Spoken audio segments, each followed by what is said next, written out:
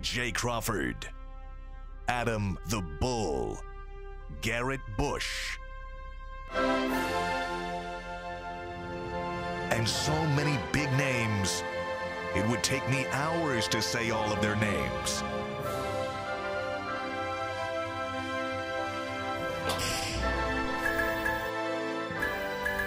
The ultimate Cleveland sports show. Booyah! Hey, oh, now there's There an we angle. Go. Look at that. That's There's an the angle you don't get to see every TV. day. Look at that. Here we are. Hey, how are we doing? We got, we got Anthony getting an appearance today. How's everybody doing today? Great, how about Jake, you? A little shell shocked. Are you shell shocked right now? Oh no. I, mean, I was. I want to shout out to them. I want to um, shout out to Ian. My man, he gave me this hoodie. What is that? I was, Kenny uh, Anderson basketball. Yeah, showcase? he uh, he really does the Kenny Anderson basketball showcase. Um, we was in, I believe, Cuyahoga Community uh, Jail. I think Oh. it's the county jail. Okay. Oh, you were there today? That's where you guys met? Last night. Oh. last night from um, about Yeah. five to nine. You were speaking to some of the, the kids. In Yeah, there? yeah. How'd we that go? Oh, it was great, man. We spoke to the spoke to the kids. Um, they're not really, I, I guess, kids. I guess 14 to 22. Yeah. They're housed in different places, Yeah, yeah. but man, it was it was just it was crazy. I was there four hours, and and I was there. As you could tell, I was running my mouth and talking so much. but some of these kids, man, like good kids, you just you learn how many situations people be in, and, and they find themselves, you know, doing tough time. I mean, Where you at on Highland Hills? uh, Off of Green Road? yes, Yeah. Uh, over uh, Quincy, Are you on Quincy? Quincy Road, yeah. Okay. And so I was there for four hours. What are you saying to them the whole time? Like, what are they asking questions or are you just talking? Man, I, we I'm just talking to them. So you know, I was just telling them, Yeah. and, and just pulling up on them, seeing their Yeah. cir- circumstances. Everybody in there is it is either convicted or charged with something bad, bad like Yeah. manslaughter, Yeah. murder, Yeah, yeah. things like that. And, and some of these kids, um, They be young too. they so young. A dude, I talked to a guy, and as we was just giving them advice about how to succeed, um, just business um, plans when they get out. Because when you get out, it's just like, okay, you're a convicted felon. You young. What do you do now? How you? What do you do now? And so we was just talking to some of the kids, and the guy came up to me and was like, "Yo," um, he was like, "Man, I really want to thank you. You gave me a lot of advice and just just some you know real solid stuff I could use." and they was like, "Yeah, I'm going. I'm transferring to prison." So he going. He moving. He already had did five. Right. He about to go. He got to do another Yeah, ten. 'cause he aged mm. out, right? And I'm like, what? Just the fact that you got to do 10. And I'm looking at him, and you could tell the young dude is like kind of scared because now he going where the big boys is at. Yeah. He going where, where, you know, and so I'm just telling him, look, man, you got to go in with a plan. Get your degree, get your education. And I said, you can't think of it like a 10 year bid. You got to think of it like you going in there to get something out of it. Like, don't let the time just go by. Because if you let the time go by, you're going to involve with people you shouldn't. No gang activities. Go in there, stay to yourself, find you a program where you could be in the kitchen, where you're doing some different things, maybe the wood shop, and just continue to build because they'll look at that and say, okay, um, you got some good behavior. Got some skills We can we now, can too. take that and, and you may be able to get parole earlier. But man, a lot of those kids is doing tough time. But um, you'll be surprised. Some of the, some of their stories is like, wow, how'd you how you end up here? Yeah. How'd you Yeah. end up here, man? It's so crazy. We weren't planning on talking about that, but that's a great job out of you by doing that, and it probably meant a lot, and you probably made a difference. I- Not for every kid in there, sure, but but it's probably at least a couple of Man, kids. imagine having his positive ass come in and tell you, yeah, I you mean, can- like you'll be fine. You're a great you can- example. Yeah.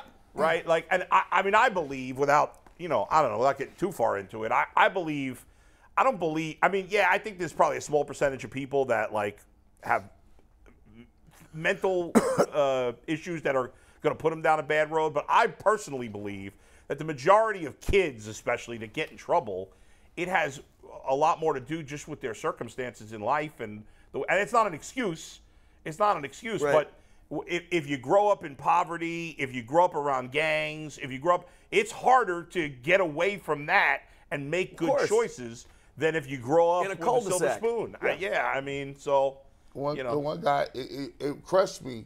He said he was there because his his boyfriend or his mom's boyfriend was beating the crap out of her for years, and unfortunately he killed him. And, And he went to jail for protecting his mom. He, he got he got like 15 years. For protecting his mom. yeah, 15.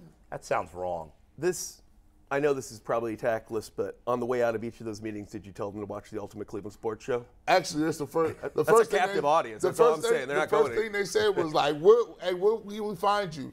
I will give them credit because they weren't. I say, "Yo, I, I'll come back." It's they, I don't just want to show up one time. Like, there's a lot of things that I could give y'all. Like, you know, because I, I didn't start anywhere from like being big. Right, right, right. I just was like on the internet doing stuff, and I I, I evolved into some of these things, and it kind of uh, blossomed. But the great thing about them is they do have a music program. I heard a guy rapping, and he had a whole like demo. Mm-hmm. It's like he's fire. Like he's like he's legit. He's got stories. UCS CSS intro song next year. He Yeah. is legit, man. Um, and then uh, the guy, they got a lot of different programs. Ian is a, a coordinator, and he's gonna have Smush Parker come in. Okay. He uh, Was Kenny Anderson? Kenny, Kenny Anderson. Was he there? Uh, he wasn't there, but Kenny Anderson comes in and talks to the kids every year. Um, It's like his program. yeah, He and- went to my rival high school, Kenny. I think. Or I'm, if I'm, Are you guys cool now, though? and he- No, not at the same time as he- me. But they knew somebody. Uh, Hobbs, Dennis Hobson. Dennis Hobson. Dennis Because they're all together. Kenny Anderson, and Dennis Hobson. Yep, they yep. real good friends. They Yep. mentioned that. So yeah, look, it was it was. I, it ain't the first time I'm gonna do it. Um, I just be passionate about it. So Good for you, man. Kenny Anderson did not go to my rival high school. I was confusing him with Update: somebody Kenny else. Anderson did not go to Bulls' rival high School. I knew he was from New York. time. I just I, I, Gee, knew, I thought he went to Lincoln High, but Stay, stay that's the, a great job stay by in you. the community, G. Keep doing that, right? Because we do this thing every day, and there's another set of folk out here that always need some guidance. They don't they don't get the breaks that some of us get out here, right? Yeah. And they just need a break, right? Right. Just a some shot. of, some of them here have to clean up clean up their act a little bit, but yeah, listen, I believe every soul is worthy of, of, of redemption. yep, yep. I don't know if they'd want me, but I'd be happy to go with you if you want. If you want They, me to. they, Ian, Ian, they'd be happy to go Yeah. because these people, you'd be surprised. These kids, they they they face lit up when you came in. Yeah, yeah. Because they don't got visitors, family members, nothing. So for you just sitting down there, and then most of the time I'm just talking to them, Yeah. like regularly, like, yo, this is, you know, just about different things. And they ask really great questions because a lot of them are in there thinking about, okay, the questions, how I'm gonna make it, what, like, what, what, what's my next steps, you know, because you know you get out, and everybody talk about will stay out of trouble, but let you not be able to pay your bills. Right. You got a daughter or son that need milk. You ain't got no credentials. You didn't graduate. What you think people gonna do? They're gonna be right back to what got them there. To Right start back on you. So Right back on you. right back. when, back when, on you. when people are in trouble, whether it's kids, adults, whatever, when you get in trouble and you end up in jail, I mean, the world's a better place if we're if we're helping the people in prison to improve their lives. So when they get out, you know, Mm-hmm. I mean, but uh, as long as we have for-profit prisons in America, which we do, it's it's gonna always remain. Bull, a did- problem. what charitable things did you do last night? I did nothing. I did nothing charitable. I feel very little, very small. You set up an Xbox controller. I did. I set up uh, my son's uh, second Xbox controller and Oh. played Madden with him. That was. You spend some. You spend some time with your That's son. That's important. He'll be I- a productive member of society. hope so. I went to Gunselman's Tavern and I had a really good hamburger. They have great burgers. Yeah, they do. Underrated So, burger joint, Gunselman's Uh, Tavern. we had different evenings, but Yeah. um, you know, Good we all you. did we all did stuff. Good for you. That's Yeah. That's a great job, and uh, it's important to talk about these things in the holiday season. Obviously, this is our last show of 2022. Uh, it's been a treat for me and Man, to work gone- with all of you guys here. quick. And Yeah. we've had a lot of fun over the last what eight months, Yes. God, it don't even feel like eight months. right? I can't. eight I can't believe like this has only been here eight months. Yeah. I This know. is crazy. In some ways, it feels like longer. In some ways, it feels like it just started. Yeah, it does seems very quick. Yeah. Yeah. So- And it- uh, unlike this interminable Brown season, which seems extremely long, doesn't it seem? forever. Yeah, yeah, This yeah. just but keeps now we can't. wait. Now I'm like, well, let's get the next It is year, funny. so- Polk puts it in perspective like that. The Yeah. Brown season's only been going on for half of UCSS. Yeah. I think back to May. That feels like yesterday. Yeah. September when the Jet season started. Browns. eternities ago. Seriously. Jets, by the way. ago. We experience time differently Jets depending season. upon how you Well, 'cause the perceive Jets that time and the, and the type of experience you're having during that time. Yeah. Since the Browns is so painful, obviously it feels like we have to endure it more. Whereas- Right. Whereas our time that we've gotten to spend with each other over the last eight months has been Has so been delightful fun. that it has flown by. Have you ever have you ever noticed where it seems so clear what needs to be done? It's clear. I mean, uh, to me, I look at it, it's clear to me. Clear as day. I might not know the, the, the, the every X, Y, and Z, but the parameters of it, I understand what it is. And sometimes I- I'm always wondered why people who are in the mix are in the mix with it every day. They can't see it. I mean, they're they're oblivious to what's going on here, right? And I, I, I tune around, I listen to, you know, I try to fill myself with, with other viewpoints, right? And I'm hearing talk yesterday like, we're so disappointed in Watson. Like, you disappointed in Watson? What are you talking about? We're not even here yet. Mm-hmm. I mean, we just want progression here. I think we were. I think you said the other day, Adam. Yeah. The thing that we were, we we we, we blinded ourselves by thinking that he was going to come out the can. Yeah, we did. Yeah, We and it was- convinced ourselves no big deal. that it was missed it, that it, time. it was it, was unrealistic. Yes, It was very much unrealistic. and he's playing better. Right, I he's playing it, better. it continues to improve. Right. But to think there would be no rust after 23 Here's my months. question though. Shame How- on us for How thinking did we that. really miss it that bad? I mean, weren't there We're- other examples in history of No, quarterbacks we're- who would have this much time off? I know that we're homers. Mike, I we're- know. no, no, Mike, Mike, we're that thirsty. Yeah. It's been a long but you guys time. are pros. You You're know what? pro. You should know better. I should. I should. you should tell us. And I thought there'd be some rust, but I didn't think there. Listen, I, I think he's making his good progress, but I think we all thought it would happen like like that. And part of it is it's not just him, right? Like you look at the, statist- the statistics for last week, considering the weather conditions. Yeah. Yeah. He played a pretty good game. Right. You know, if if Amari Cooper catches the ball in the end Yeah. zone and Right. they score a touchdown instead of a field goal, and then either DPJ or Njoku catch a touchdown that last drive, well, all of a sudden he's got three touchdowns, and, and we're know, forgetting the and we're forgetting the misses. and we're forgetting the misses, and it's like, well, he threw for t- instead he's throwing for you know 195 on Yep. just, and it would be less passes because they wouldn't have to throw as much on that last drive because they would have been it would have been a different score. Remember, he threw I think like four. Everybody's talking about how much he threw last week. I think he threw 14 passes on that last drive, so he had only thrown the ball He threw 17. 17 passes when they were down by a touchdown. Right. And So they, I kn- I they- in fact, they had run the ball.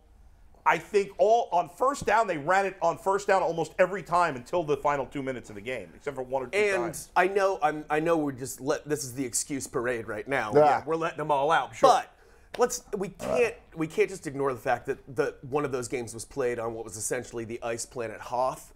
Star Star Wars reference. Right. You're yes, welcome, but everyone. again, he. I mean, that was a ter- actually, those were horrible conditions. Considering the weather conditions, the lack of throws he made till the two-minute warning, and the drops. Right. The more I think about it, Watson played a pretty good The game. The whole point is we can't look at this body of work. Anyone No. trying to look at this small body of work and Well- pretend like it's representative or uh, of No. No, this is this small body of work. We won't see we won't see the real deal till next Yes. to next year. I mean, there's a there's a lot of work that needs to go on between now and training camp next year because he got he's got a lot of work to do to get back. You just don't come back off the rip where you were. You So- got you got to work your way back. But I want to I, I want to say this ahead. though. Yeah. And I was having this kind of I was doing the Cavs game last night and, uh, with Mike Steiner. I said, you know what? It, it, what dawned on me, G, was this. And I'm listening. You know, we make every excuse in town. As, at some point, people have to be held accountable for the stuff, right? I, I'm a guy who's been around. I've been around. There's some coaches out here that can't coach talent. They do worse with better talent. They do best with mediocre talent because they elicit better pr- hmm. production on it. Guys who have better talent, coaches that have better talent, some of them don't know what to do with it. Now, I play for a guy at Ohio State, Eldon Miller, and that's who got Clark Kellogg to leave St. Joe to go down to Ohio State. And then Clark had a horrendous, what he felt like was horrendous time because they didn't play to his strengths, right? And I, I'm reminded, I'm looking at Stefanski, and I'm saying to myself, you may be better because the years he's had success, they've been with lesser people. You don't see no superstar. Every time you had a super somebody that was supposed to be a superstar, you got nothing. Ob, uh, Odell Beckham. Mayfield looked like he regressed. Now it looks like he's a little resurgent. It's only been a couple games. Now I'm wondering myself when I watch Watson, I'm like, is it him That's the fear. or is it you? That that's that's that's that's the fear. The fear of it all is sometimes when you got coaches, sometimes when you can put a player and, and you simplify things and you get it and they're like, okay, cool, you're gonna run this and you're only gonna do this. It makes other those those lesser players look good because they're within restraints, but there is no room for improvement. They hit a plateau, that's what they're gonna be. When you have a superstar, what superstars make you do, they make you get outside of your comfort mm-hmm. zone. They because their skill set is something that's special that you can't just cookie cut. You can't Madden it. You can't. you- You, have it's to not go- Madden. You got to feel the best way to go about. It's like I would. I say it's, it's like high school coaches, right? It- it- all around this country, high school basketball coaches are the worst coaches in, in the game. You know why? They'll get somebody over six foot five, and they'll be like, "You're a post player." Every player over six foot five is not a post player. If you if LeBron James was not able to have the ball, or Kevin Durant was not ever having the ball, they would say, "You're too passive. I don't want my big guy shooting threes. Get down low and post up." Well, well, no, that he has transcendent talent. That man is is better than everybody. Don't put little Billy out there who's five ten, and because he's five ten, he's a guard. No, LeBron is everything on the court. And, and there's a lot of people that don't understand that because their their their knowledge and concept pre- of the pre-programmed. game is is already. I, I would argue, guys, that um, first of all, oh, I, I don't know how hel- oh, Odell Beckham is, is rarely healthy since his early years with the Giants, mm-hmm. and that factored into his time here. Now, his his best stretch was certainly the playoffs with the Rams last year was his best stretch because when he first went to the Rams, he wasn't putting up big numbers. He did have some touchdowns on a significantly better offense, an offense that won the Super Bowl with a quarterback that was playing at a Hall of Fame level, playing next to a wide receiver that was playing at a Hall of Fame level. Mm-hmm. And with the Browns, he didn't have that. Now, uh, I, I think Odell Beckham's failures ultimately in Cleveland, yeah, I could put some blame on Kevin Stefanski. I think I could also put some blame on Baker Mayfield. I think I could also put some blame on Odell Beckham. I don't mm. think Odell Beckham gets a pass completely for his time in Cleveland. His catch, he dropped a lot of balls here. Much he was much worse at dropping balls here than he was with the Giants or the So- Rams. So, so I was I've always fought against this. Yeah. Statistically, Odell Beckham Jr. had two drops while he was here. That's just what the stats say. If I'm gonna believe in I- stats, I don't know. If I'm gonna believe in analytics and stats, I gotta believe what the stats tell me. The stats say he dropped two balls. Second of all, I had a problem with everybody else having Yeah. a problem with showing the fact that he was open. So, like, why would you be mad? Why you, people are like, he should have never said he was open. Well, no, that showing you are open is showing I'm doing my job. Yeah. Yeah. It's either the coach or the quarterback. I think Dog, here, and I, and I want to say this here. They wanted to The- handle that The in-house. point I made was this. yeah. It's not. This don't take away from Stefanski being a nice person. He's probably a nice guy. There are some coaches out here that cannot survive, cannot coach well with I, talent. I they just just don't. cannot. I just don't I- think we know that yet. Yeah, I know it very well. I, I, he I- I- hasn't had enough talent. They've Adam. had Nick Chubb. He's coached Nick Chubb. Ad- Nick Chubb has played Adam, great. That's one person. I've been around. Well, I've been around. this- the other I've been, I've been around. Brad? I've been Who's the around. other stars here, had? I'm just saying. Here, listen. Yeah. What I'm saying to Yeah. you. There are coaches. Right. That cannot. Coach I agree with you. Talent. But they have one but that's where's coaching. the proof there- for Stefanski? I don't think the you can proof. just. The proof is in the pudding here. It's win loss. This is win and loss here. Here, But he's got a winning record with nothing but bad quarterbacks. I don't consider here. That's the difference between you, You and I. said it's win I don't loss. consider 24 and 22 a winning record. It's nothing. Well, but you- that's nothing to How me. many coaches do you think would have a much better record over the last three years with the Browns? Oh, think- oh, a ton. Oh, oh, a ton. A ton. Come on A now. ton. ton. I A ton. you- Come I on. give you ten. Can I I present you just a number to the equation real quick? Yeah. And I had no idea. I just looked this up. Yeah. I'm actually shocked at this. How many games last season do you think Odell Beckham Jr. had at least 75 receiving yards? in the regular season, Regular season and postseason. How many And games did he play? I play? would say How many? three. Hold He on. hold played, How many he played for the Browns real quick. He played one, two, three. He played six games with the Browns, and he played one, two, three, four, five, six, seven, eight, to 12, 12 games with the Rams. he didn't put up Seven. big yardage. With Seven. No, I'd say three. G? five. I'm going to go two. G, you're right. Five. Three of those came with the Rams. Two of those came with the Browns. Yeah, he didn't put up. Big, he was scoring more touchdowns with the Rams. He did score more- But I'm ju- that's I'm just because he was on a much better offense. Yeah. No, no. Right. So I'm he just wasn't. saying. He wasn't Playing playing like a, Cooper Kupp. He was better on the Rams, definitely. Yes. But he wasn't So- playing like a so, star on the so Rams. humor me. Yeah. What if I'm right? What if what if Stefanski cannot elicit? Here's the problem when you have better players. You have to coach less. It's different how you coach. Now I'm giving you counsel because I have to rely on the fact that you've got talent and you're going to be able to make some plays, and it's uncomfortable for people because I'm But not. this is not I'm- basketball, I'm- Brad. No, It's it's, the- different. it's, the- It's not the same. You Adam, call the same. The coaching, No, no, no, coaching it is- is it is- coaching. It's not the same. It is It the is same. Watch, It let me is show the you how, same. Let me show Yeah. you this. If you got an elite quarterback, it's the same. Yeah. Peyton Manning, he called whatever you want to call. Run, pass, whatever it is. He has the ability. A, uh, a play will be called, and then Peyton can change it if he wants. So- so- which I'm sure Watson will have the same Well, thing. well, here- here's another thing too. Yeah. You also have when you a quarterback who's seeing the field the different way, he can come in and say, "Hey, well, we with our plan, our scripted plays, them ain't gonna work today. We but need gee, to go you're to." saying that is if he, if if Deshaun Watson's not allowed to do that. I don't think that will be the case. well, well, here's what we're saying. Yeah. His his his autonomy and what he's able to do is way different from what a, Di- uh, the Jacoby Brissett would be. Jacoby Brissett, when he gets to the line of scrimmage, it's run that play. Right. Yeah. Baker Mayfield, Run that play. Run that. Don't Right. you be audible. who's- But, you're saying as, as if Stefanski hasn't let Watson do that. A, we don't know, and B, it's it's only been four games. Is your concern more one of attitude that he isn't someone who inspires his players? Oh, is I that think- the I- I- concern? oh, I think that's obvious. But I'm saying, is that the main concern, Well, I- or is I- it I- inability, or is it inability to inspire? Mike, I think it's an ability to elicit top performance out of people is obvious. So that's If you've been in sports, you know it. I mean, it's it's real clear. Either you have it or you don't have it, right? You don't. But you said, Bray, you said he can't coach superstars. He hasn't had many superstars. I'm, tell-? I'm telling you what I see from. But well, from I'm trying what to, I, I'm hold trying to on. understand it. Well, I'm trying to give it to you. And I'm saying I- we've I- had I'm improvement trying to by give the it to you. offense. Yeah. My eyesight tells me Yeah. that he does not. He works better with lesser talent. That's But a, that's who's my the great talent that has failed under him? so, I'm trying to understand so let me that. so let me give you this. Yeah. Um, if you go back and look at the statistics, Yeah. Jarvis Landry was better under Freddie Kitchens. Odell Beckham Jr. was better under Freddie Kitchens. Nick Chubb, two years in a row, we oh, Yeah. we talked about Nick Chubb not getting the ball Well, the here. half of the But season. Odell didn't play a full season under G, let me tell you this. And I- Jarvis throw- Landry's slowly throw been getting older. Here. I want you to throw this in here. Yeah. They just wasted Kareem Hunt. Kareem they Hunt wasted was him. a no They show. wasted They just I don't understand. Uh, Kareem, the, Kareem Hunt's a number two running back. What do you want to do? How much do you Kareem, they him? wasted the talent of Kareem they didn't Hunt. even they didn't even try to use him But in you even agreed with me that he he has clearly lost a step. But here's it the- seemed pretty obvious Here- this it- year. But here's the thing. Yeah. That's that's like being like, well, my car didn't start, but you didn't have it in the garage for two summers. right.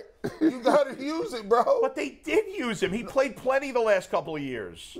No, he Gee, didn't. how, how much do you, how many you No, had Nick Chubb? How many carries So did you expect we, to get? we, We talked we about Chubb we- and Hunt in the backfield we will see- multiple We will times. see when Chubb Kareem- and Hunt had more carries we than any we will backfield tandem in the league. I'm we- talking about this in- year. I'm talking about in conjunction same in the time phase, I backfield the same Right. time. They you use it. It was popular. They get seven yards. They leave it alone. That is that's unequivocal. That's facts. That's an argument. Whether you should le- use them together or not is a fair argument, and I agree with you. I would like to seen it, but in, to- in in total, they did play a lot, and they combined for more carries than any running backs in the league. What- that's just that's a fact too. Here- here's here's what I'm looking at. What I'm looking at when you look at Kevin Stefanski, yeah, a 500 record or being decent that's not good enough. 25 and 23 is not a good record. That is not championship level. No, No. agreed. And- it's got to be better. And so, it's- no, it's- much better. It's mediocre. Agreed. It's what it Agreed, is. guys. It's mediocre. Okay, Right. but he's had mediocre But talent I- at here, quarterback. here, let me tell you something. had worse Would you call this quarterback situation ideal this year for him? I mean, that's not this a is what I hate situation. about this is what I hate about this Yeah. town, right? Call a spade a spade, right? I played for a coach. Let me tell you what the Bulls did, Adam. yeah. We went to the Eastern Conference Final, one game away from playing the Lakers in the championship. Two weeks later, they fired Doug Collins. You out of here. Mm-hmm. Why? Because they felt like he couldn't get us over. And how hump. many years did he have Michael Jordan before that happened? How many years? Three years that I was there. Okay. Well, they don't have Michael Jordan. No, now it- they do. it- hold on. Now they do. No, no. You missing my point again. My Yeah. point is organizations Right. have to have the pulse. Right. Right. The fingertip on the pulse. Right. And if it doesn't pop, don't cloud yourself to be like, well, I'm going getting ah, this is another Well, another then, year. you could have said the same thing about the Bengals after two years with Zac Taylor. Every Bengal fan wanted him fired. Now he's a genius. They go, why? Because he got Joe Burrow. He's not. He's not a better coach. So- he got Joe Burrow. Let, let me ask. Let me so, ask, if, so if here, Hackett, if the, the, same team that got to the Eastern Conference Finals, right? Yeah. Is the same team that ended up winning the championship. Right. It wasn't no more additions coming, right? There was the same players, right? Right.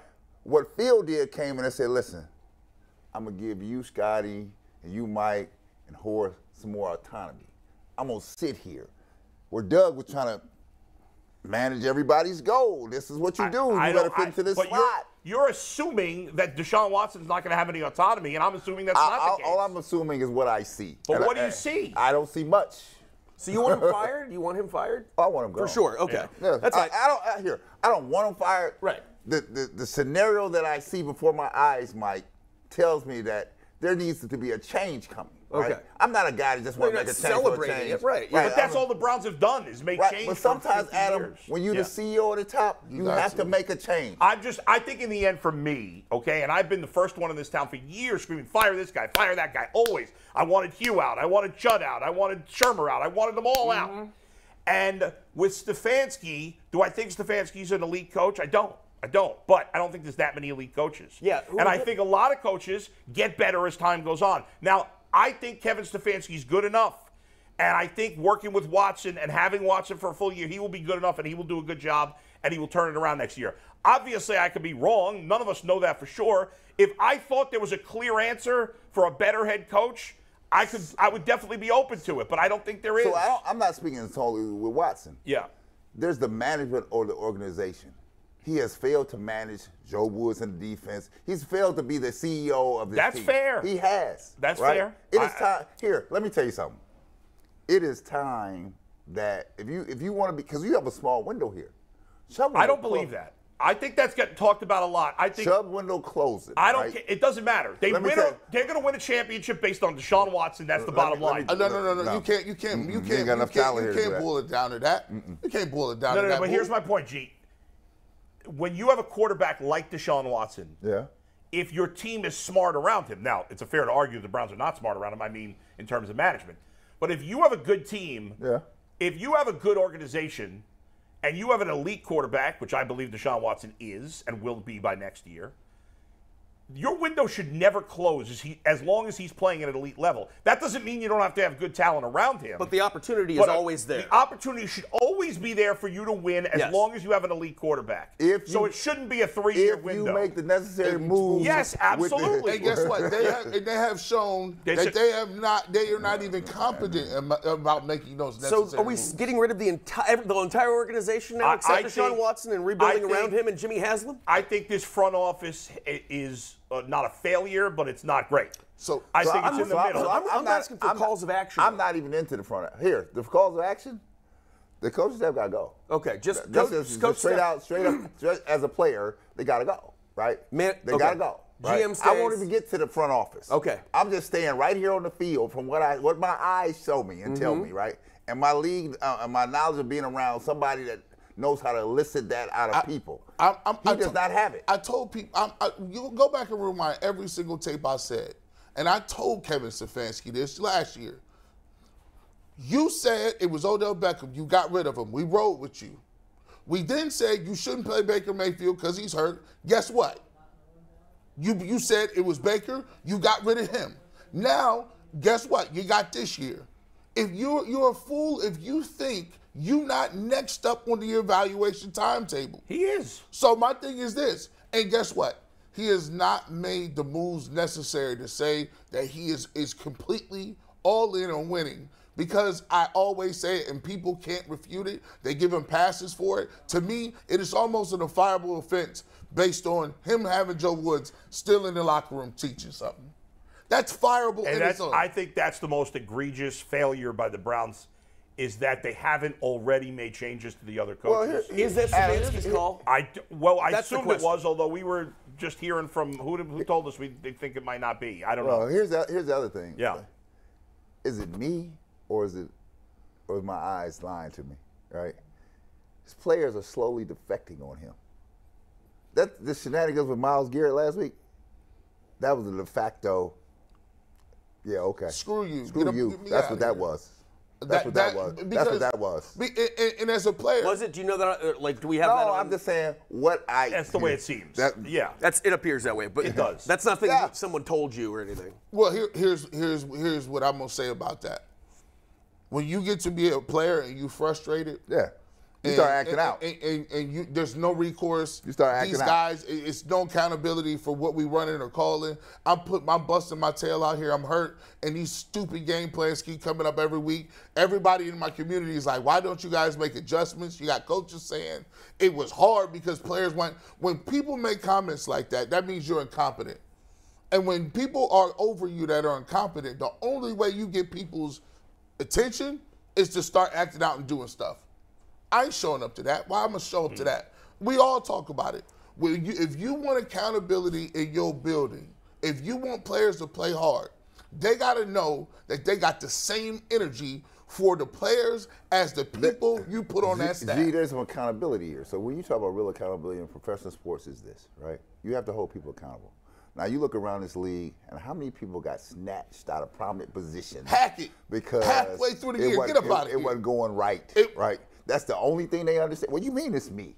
Oh, it's Bye. you. You out. Speaking of Easy. accountability, though, isn't, don't the players have some accountability to play out, play as hard as they can, regardless, Eh, or, Players or have- they got to pout like this? Players gotta- have here, Mike. Players have to be managed, right?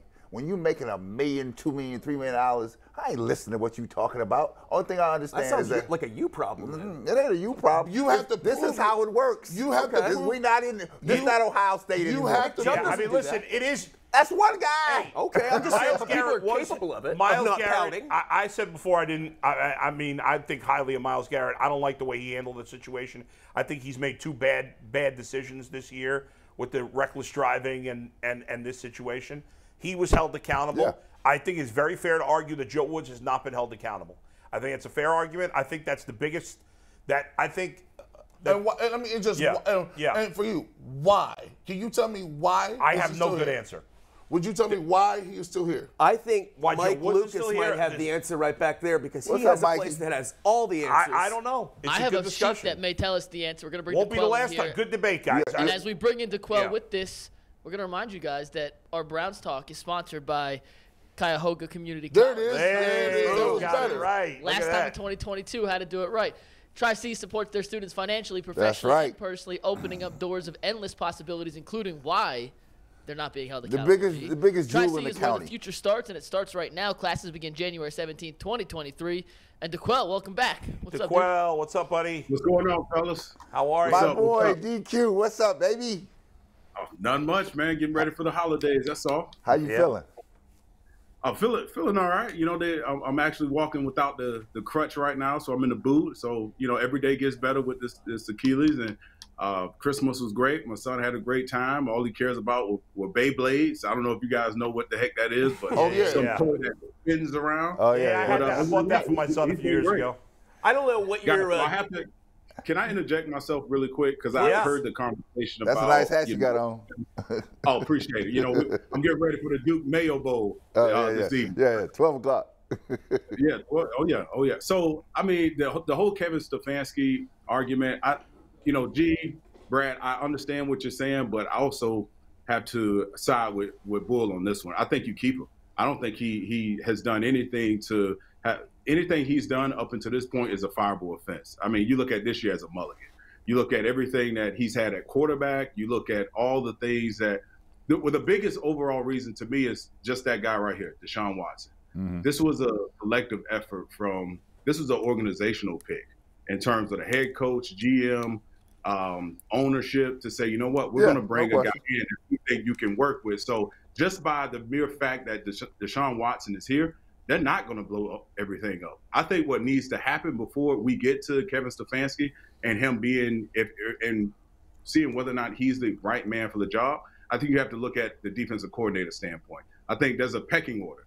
Obviously the defense underachieved mightily this year on top of you know having guys off the street play linebacker and all these other different external factors i think you got to start there i think without a doubt in my opinion joe woods even though I hate to have a, a man lose a job, but he's not the guy for the job. He's not coaching, inspiring football. He's not having his assistants uh, do the job. So I think clean slate on the defensive side of the ball. Now, when you get that fixed and you adjust it, and if things don't work out, now you have to start to work your way up the ladder and say, you know what, Kevin, you know you keep swinging and missing. It's not working. And I, but I don't think we're there just yet. I think right now with the defense underachieving, we're going to have to see an off full off season with Deshaun Watson, Amari Cooper. They're already talking about getting together in the off season. So uh, and the whole Deshaun Watson, I, I just think this experiment needs another year for us to to make a definitive answer whether so, or not Kevin well, well, the, the, the, the, Go ahead, I, I, will say this because I want to ask DeQuell something too. So my thing is, in my in my heart of hearts, do I think they they get rid of Stefanski? No. Mm-hmm. I, for some of the reasons that you just named. But Kevin Stefanski, in my opinion, has set himself up to lose credibility. He has set himself up to give himself a more difficult time than needs to be. For me, I'm, I'm confused why you wouldn't be proactive as a head coach to get your other guys to, to buy in and say, look, when I say we, th- this ain't acceptable, our goal is Super Bowl. What we doing on defense is, is, is for lack of better terms, piss poor. And I don't care if you're my brother over there, if my, you're my cousin or my mama over there coaching. You got that ain't good enough. We can't do it. You're gonna and, fire your own mom. Yes, a, a oh, heartbeat. Bye, mom. Bye. You're not doing the job. I, see, see, I want to win. See, Thanksgiving so awkward. I want to win at the highest levels. I don't care about nothing else. Yes. Ever. Like I, that's all I care about. So if you're not gonna be there to get me there, I need to show my players that if you ain't in your gap, I will fire you too. if you not if you not doing what you're supposed to do, I will get rid of you too. And so for me, when you let them sit there, in a way, ain't that really causing? Ain't, ain't that really you throwing games? Mm. If you know somebody's over there and you can't win and your offense is great, ain't that like literally putting your head and saying, "I'm gonna imagine this isn't happening, and I wait to, to, to handle it when yeah. it's more convenient." Yeah, that's the Cleveland way. All right. You know what? I, I, you listen. I don't disagree with anything you said. I think it's, it's all. I've seen you know teams orchestrate that in a different manner. Like for for instance, when I was in um, with the Colts in New, uh, I almost said New England, Indianapolis. Chuck Pagano. If you ever met Chuck Pagano, Chuck Pagano is the nicest guy yeah. you ever meet. He doesn't allow any of his coaches to scream. And the way they constructed the coaching staff was my defensive coordinator at the time, he was a screamer. He was a guy who played in the league for 11 years. He played linebacker for 11 years, been a coordinator uh, throughout his career. You know, he was credentialed, so all of us players gave him instant credibility. So Chuck would let him do his thing, right? Mm-hmm. And so he did his thing, and Chuck kind of delegated. I think what Kevin Stefanski needs to do, and we've talked about it before on this show, he spends so much time with the offense. I think hearing the fact that, you know what, his defense had, had underachieved when we all thought just by namesake on paper that this this side of the ball would have been exponentially better. I think you have to be clued into, you know what, when you go self evaluate yourself after the season, what do I need to do better as a head coach? Well, I know for for a fact as a player, if I saw my head coach in a meeting, in a position meeting room, or the the room where the defensive coordinator is going over the new install, it brought a new uh, a level account, uh, sense of accountability. Yeah. I think he has. I don't know if he's not doing that. Clearly, he's not doing that because it would have it, it would raise the level from a coaching standpoint, player standpoint, I think he has to relegate his time a lot better to get through. If he's going to be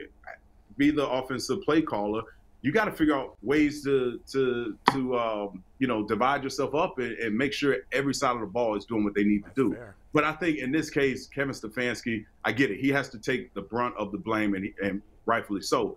But if you go hire somebody who is a head coach in a sense, as a in a coordinating role, I think that alleviates some of the pressure that he has to spend with that side of the group. I think you gotta they gotta figure out that I'm a little sensitive to just blowing everything up because I went through so many head coaches and it's so difficult to relearn a new system and and you know a, a coaching philosophy and guys get moved here and there and it's just here we go again type of situation where it's revolving doors at the head coaching position. But I do think next year next year, if we're having the same conversations about this team underachieving, then it's unequivocally, in my opinion, it's time for him to get out of here. Hey, D'Qwell, think we're all let, same let- page let- let me that. let me let me come at you a different way on this. I want your take on it, right? Mm-hmm. So there are some organizations you know in sports do this, right? They don't wait. They don't pull the trigger when they see something that don't look right. They they gonna make a move about it, and whether Yep. you agree with it or not, right?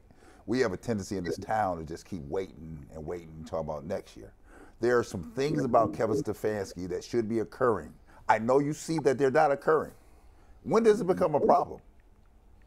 Because it's a problem. I just, yeah, no, I agree with you, Brad. I, I mean, listen, I would love to play for an organization who, if they saw some, you know, a kink in the armor, you know what, let's make a move now before it gets worse. It sends a, the the message to the rest of the players, the entire organization. We're about winning and winning only. If you if we don't think you're in that equation, then we we, we get rid of you. We move on. Because the this thing with Myles is, is slipping away here. Yeah, Yeah, you can see it. Yeah, And, yeah. and I mean, it, and, and it probably comes to a button head in the locker room because Myles is probably expecting something to occur, But- and it's not occurring. This is this is the the pushback you get from players in, in unobvious ways to the fans. The things that go on behind the locker room that, that, that they don't see, and this the- is what I'm Yeah, reading under, underneath the Well, surface. to, to Brad's point and to your point, I mean, I think you were alluding to this already. It feels like the Browns need like a Wade Phillips, like that, you know, whatever. Like they need a veteran defensive coordinator. Joe Woods is a young guy. They need a veteran defensive coordinator who prob- hopefully has been a head coach, whether it's Mike mm-hmm. Zimmer or, or Wade Phillips type or, or Brian Flores. We talked about that last or Right, earlier this week. great- Like they that'd be need a guy who's going to come into that defense who has coaching head coaching experience, who's going to be respected by the players, and has got to be a kind of a kick-ass guy because the Browns, like, they don't have that killer mentality on the defense. It seems Right. like, right? Right. So they need that type of guy, don't they?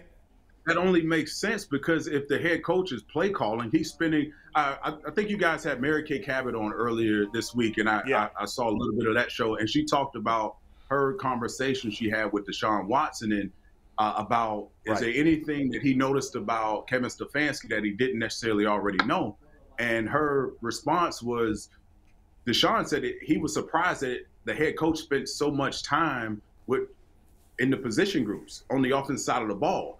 That there alone lets hmm. you know, again, you need to go hire a veteran guy, as you alluded to, Bull, that Yeah. has, you know, head coaching ability that, you know what, you can, it's like a, a, a, a prime time back in the day. Deion Sanders, you didn't worry about that side of the field.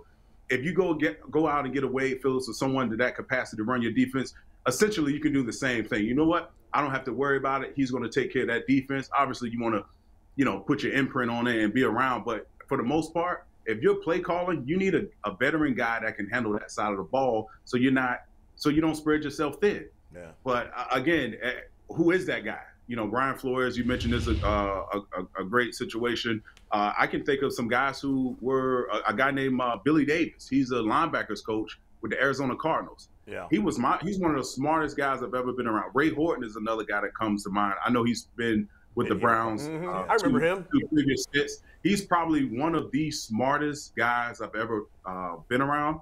But here's the most important thing: he can coach personalities, like the Myles Garrett's, the, Yeah, whoever walks in the building. He can coach a personality, The- and, and so the other guys fall in line. So that that to me is the biggest caveat of it all. You can go out and get someone, but if you can't coach the big personalities, then we're, we're wasting our time. Hey, D'Qwell, just answer, and, and, and you, we were talking about this earlier before you got on. You know, some coaches can't coach talent. You know that, right? The, the more mm-hmm. talent they get, the worse it is for them because they feel like they're losing control because the more talented people, you know, they they they're spontaneous, right? And you have to Right. sit back and ride with them. You, Yeah. I, I Yeah. see I, I see that out of Stefanski. I don't I don't see him flexible enough to be able to sit there and take that, right? Because you got to sit there and take it. Yeah, and that's why I think it's very important to identify that from a GM standpoint to say, you know what, he isn't the guy that can that can just galvanize everyone. But if you like what he does from an offensive standpoint, how do you pick up the slack? Right? So you go out and get other guys who knows how to motivate talent, who from a position standpoint, it, it, it it's no different than on the football field where you have guys at every level. Some guys lead in different by example, as opposed to standing in front and rah rah and rah rah Yeah. speeching and all those t- type of things. So as an organization, I've always been clued into, you know what? If you don't have the guy if you have leaders who who lead by example, you need one or two guys that can lead by Yeah. motivating, by Yeah. by getting underneath the guys behind and and you know telling them the truth and you know what we need you or or you just you need that type of guy Like And D'Qwell if you don't Jackson. have- like D'Qwell Listen, Jackson. To that point, Listen, I- D'Qwell, like, how, how do you handle a situation like in a perfect world when you were on the Mm-hmm. Browns? Like you were, if not the best player on the defense, you were one of the one or two best players on the defense the entire time you were Mm-hmm. here. So, like, we want, like, in a, in a perfect world, it seems from an outsider's perspective, I'd want my Yeah. best players to be the leaders. But Myles Right. Garrett is obviously the best player on the Browns, but he's a different cat. Like, he doesn't Yeah. seem like that rah rah guy out, that's like screaming at everybody and what the hell are we doing out here? I don't know. So does so, somebody else has to take that role? Can he develop into that, or is it just like is that just not who he is? Yeah, that's not who he is. Yeah. If we hadn't seen it, if we're still talking about it at this point Right. in his career, that's Yeah. not who he is. Yeah. Yeah. And quite frankly, it's very hard to be in that position because a lot of times when I was there with the Browns, and even with the Colts, guys didn't like me. They couldn't tolerate it. Yeah. You know, and it, and they learned to love it because I was consistent. Hold 'em because I was working harder than Mhm. everyone else, and I demanded you work equally as hard. And so it's very hard to do that. And so my, to to my, the Myles Garrett point, he's not that. And so any other guy that's in that locker room, I think uh, Anthony Walker was a voice, uh, Yeah. a different style of leadership that could, you know, work with the linebackers in a sense, but that's what they're lacking. And it's so hard to identify someone that has the courage to say, Myles Garrett, you got to stop jumping these guys, like to, to hold him accountable. And I think Myles Garrett is that leader who would be willing to defer to someone else, knowing that they were a playmaker, knowing that they were consistent, knowing that they were going to work their butts off every single day, is just as hard as, if not harder than him. So I think that is that's the caveat of it all. They don't have there's a lot of inexperience on this defense, particularly, and a lot of guys that don't know each other in the last probably month of football, especially from the linebacker standpoint, who are just they're picking guys up off the street. So, so you've got you've got guys that are uh, when you talk about coaches, right? There's there's different styles, and it depends on what your personnel Mhm. looks like. So Right. when you look at, you brought up Deion. Deion don't mm-hmm. be coaching. Deion be motivating, right? Right. His Right. staff he took to Colorado, he wouldn't got coaches around him to Right. handle his position. His job is to motivate the group and hold them accountable, right? Can Stefanski make the swap because I don't. The, the team needs to be Yeah. managed. It needs to be managed, right? It don't need to be coached by him on the offensive side. He got to manage too many things. There's too many things that he needs to manage on a daily basis here, and he has to trust that other people are going to be able to do that. Now, like Joe Woods, he can't get it done. I mean, he'd be the first one out of here, right? Right. And in any other Right. position that can't get it done, does he have the strength within him to make those calls and say, "Can't do that. Got to go." I don't care how Yeah. nice you, my friend, Yeah. you my cousin. Right. I got That it. That doesn't matter. Yeah. Right. That's fair. I think I think Kevin Stefanski is doing what he thinks he does best is calling plays, and I think you I think everyone would agree his management could be a lot better with this entire team. And if you strip that title from him, if he goes out and gets an offensive coordinator, now what is he doing? I don't think anyone wants him to, co- yeah, coaching and motivate. I don't think that's his strong suit. That's his his strong set. But uh, I mean, what do we have? I mean, they made a long term investment in Deshaun Watson, so they're going to see this through at least till I know at least for another year, just to see what style of offense we're going to run because that's a I whole got you. other Yeah. ball game. You you. know, Are we sure? Are we the sure Tito can't? Are we sure Tito can't coach football as well? I mean, the baseball's over, and then he can just come in. And, right. Uh, D'Qwell, I got a question for you about football this week. Um, this is the Mm-hmm. first game that these Browns are going in knowing that they are statistically eliminated for certain from the playoffs. Um, Not to bring up old stuff, but you had a few of these games where you went in knowing that you were statistically eliminated from the playoffs. Very How's the mentality different? And not, I don't think it's fair to go by you because of you know what you are, but the mentality of the locker room typically of people not like you. Um, what, what was it like going into a game like this? And I mean, I know that that might not hold true with every team, but from your experience, No, it's a great question question because uh, you just you hold your breath because guys know they're out of playoff contention. You only have a handful or what two games left, and the guys are looking at what they're doing in the off season right now. Let's I'll just call a spade a spade. It's it's so hard from a leader standpoint, from a coach standpoint, to try to motivate these guys to go Mm-hmm. out and play within the scheme. There's going to be a lot of big plays. There's going to be a lot of missed assignments. It's just the nature of the beast because you strain for so long, and then you finally realize, you know what? We're really. I'm just playing for my reputation. I'm playing for my name on my back.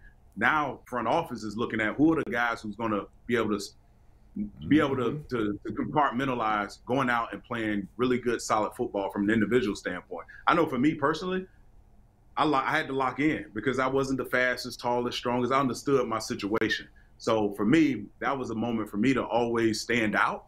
But a lot of guys can't take that mentality, and it's like I said, it, it's going to be a it's going to be rough. You you think you've we've seen some bad football out of um, this team. Hopefully, offensively, Deshaun Watson, he's motivated because he's trying to show a glimmer of him, his old self from you know to to justify this big contract. So it's going to be a lot of moving pieces, and it's not an easy um, situation to play in, uh, be a coach or a player. you know, just well, um, this this got brought up yesterday. We and Bull was talking about it. People looked at me crazy. They was like, "Hey man, you know, you need uh, you got some uh, you know, trade assets. The only one you got is Nick Chubb." Now I do things to do. I, I'm tongue in cheek about a lot of different things, but I will say this: I've heard you and Leroy and, and Dee Dee and Tim and everybody say in the media, hey, 230 million.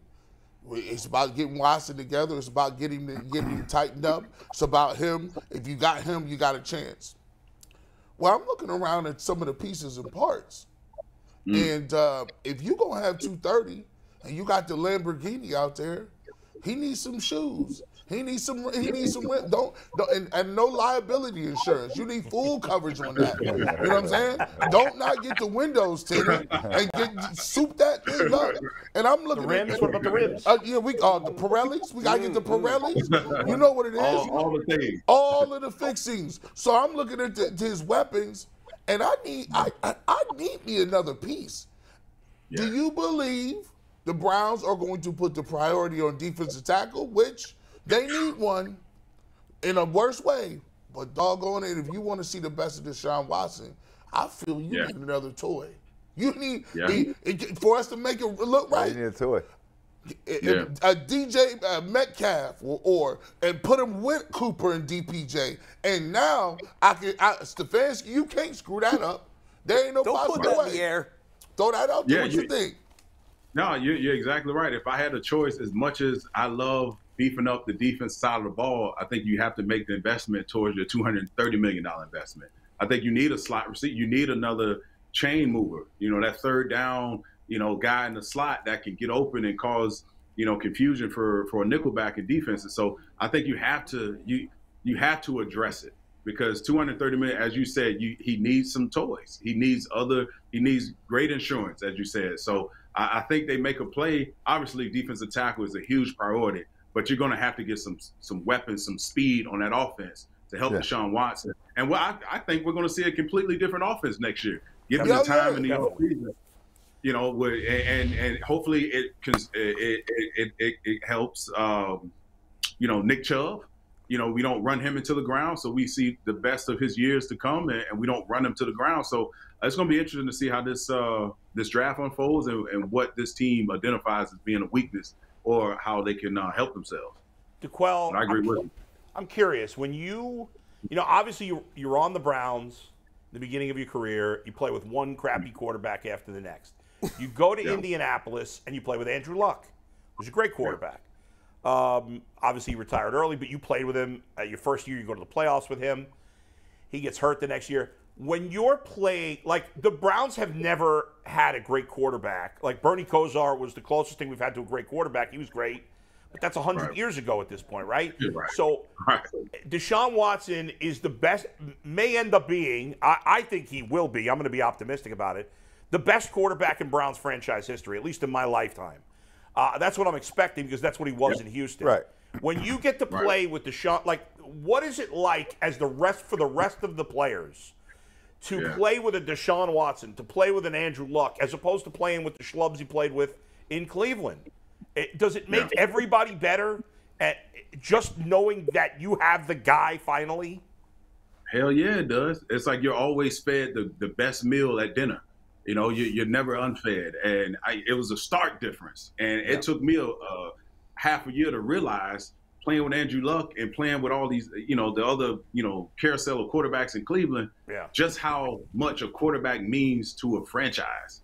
And just it's hard to really put it into word. You're never out. And I don't know how as easy as it is for me to say that, but no matter if you're close, there was a sense of of in Indianapolis that we were going to win the game, as opposed to mm-hmm. in Cleveland, if we were close. I hate to say it, but it was like, oh, here we go again, type of mm-hmm. mentality, Yeah, yeah, and it yeah, was a yeah. losing, it us was a anything. losing mentality. And whether you, you, it was a human nature for you to go down that route, but completely different playing with Andrew Luck, and it permeates through the entire organization. Defensively, you understand. You know what? If I get a lead, if you're Myles Garrett or someone that's a pass rusher, oh man, my sack total should go up. And you know, just all these type of different stats go up. I had one of my best statistical years. My first year with the Colts, I had five and a half sacks. I had never had five and a half sacks with the Browns. Why? Because we were playing with really big leads. Yep. So you know, it just opens up.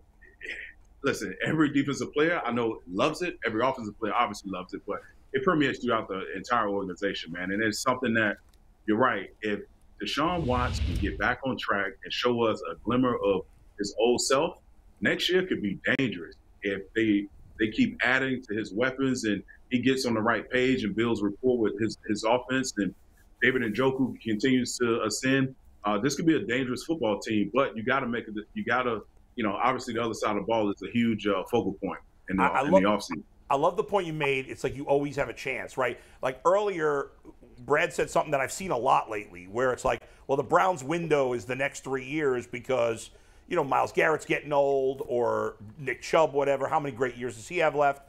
But mm-hmm. in my mind, when you have Deshaun Watson, when you have Joe Burrow, when you have Patrick Mahomes, when you have Peyton Manning of your era, Tom Brady, you you know those quarterbacks, mm-hmm. like my window should never be closed. The organization, Right. yeah, has to be smart with their with how they spend their money and keep putting decent players around him. But there's much mm-hmm. more margin for error. I don't like like to win to to get to the Super Bowl with somebody like Jimmy Garoppolo or Baker Mayfield or somebody like that. Like the rest of the team's mm-hmm. got to be perfect. But I don't have to be perfect around Deshaun Watson. I got to be good. Mm-hmm. I can't be terrible. Mm-hmm. But I, I don't have to be as good around him. Yeah, you want the key receivers and then, but like my window should never close if I have Deshaun Watson or one of those guys as a quarterback. That's how I No, look I- at it as a fan. Do you look at it that way? Yeah, I agree. I, I absolutely agree. You look at the conference. You got, you know, within your conference alone, you have to be able to score points. Yes. Period. Yeah. And in this league, and to play deep in the playoffs and hopefully win the Super Bowl. You, the, the the days of a dominant defense, you know, like the 2000 Ravens defense when they won with Joe Flacco. Those day, days are long gone. You have to be able to play opportunistic defense at the right time, but you have to be able to score points all the time, and you have to be able to move the chain. So, uh, yeah, I agree with it. With the shot, obviously, the one that everyone uh, is a prisoner in the moment. We see this team really ascend the next three years. You look at the young talent because after three years or so, contracts come into play. Can you keep this guy? Will you be? So all these different external factors come into play. But if Deshaun Watson plays at the level that we all think he's capable of playing and can really take this team to the next level. They have the pieces on paper. If the front office does right, uh, they can really, we can really see some really big, big jumps from this team. Hopefully, uh, in the next few years. But I agree with you. As long as you have a guy that's healthy, arm strength is healthy, can still chuck the ball down the field, you always have a shot.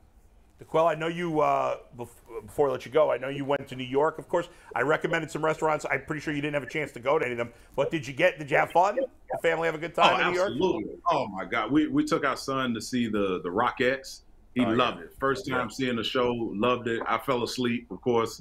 Uh, when they dim they dim the lights and they bring out the orchestra, that was a sign for me to go to sleep, take a little quick power nap.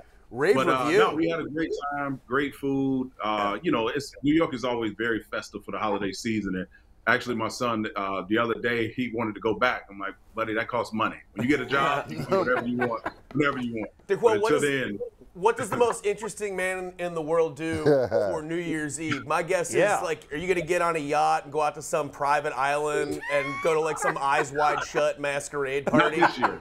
No, not, not, this year. not this year. Not this year. So we're, we're going. We're doing a um, one of um, our good friends. He's a he's a chef. So we're going to do that. We're going to the you know, nine course meal, get fed, get full, and then we're going to a place up the street here where it's a new restaurant, but they, they have a live DJ. It's invite only, so it'll be a good time. Good time. Nice. Nice. Well, Yeah. D'Qwell, Gotta hear it's, some music. it's been awesome having you on all year. We'll look forward to having you on again next year. Not only was D'Qwell a great uh, football player and a great analyst with us, he's most importantly a great human being. We love you. Have a happy new year. Thank you as always. All right, Guys, back. D'Qwell. Happy New Year. Happy New Year, Hey, D'Qwell. G, Love you, D'Qwell. See you, man. drinking, Uh, thank you, D'Qwell. Yeah. And boy, D'Qwell Jackson. He's the man. He's the man. that's probably like what I kind of name dropped D'Qwell with some of my like old New York friends. I'm like, yeah, De- D'Qwell's my buddy. yeah, yeah, yeah. he just texted me about uh, you know something. Yeah. Now D'Qwell's the best. He uh, he was on today at 11:01. Oh, yeah. Oh, He yeah. watched the whole. Yeah, well, he was watching when Mary Kay was on earlier in He, the week. does. so he's- obviously he does paying the film study. He doesn't Yeah, come yeah, in. You can tell. Nah, nah, Yeah. he's, lo- he's locked in. There- He there's no doubt watches. about it. Always Uh, has. Let me. I got to ask Brad and G this. Yeah. You got not a lot of time for this. Okay. give me give me one quick answers, guys. After hearing from D'Qwell, do you feel any better about giving Kevin Stefanski a fourth season?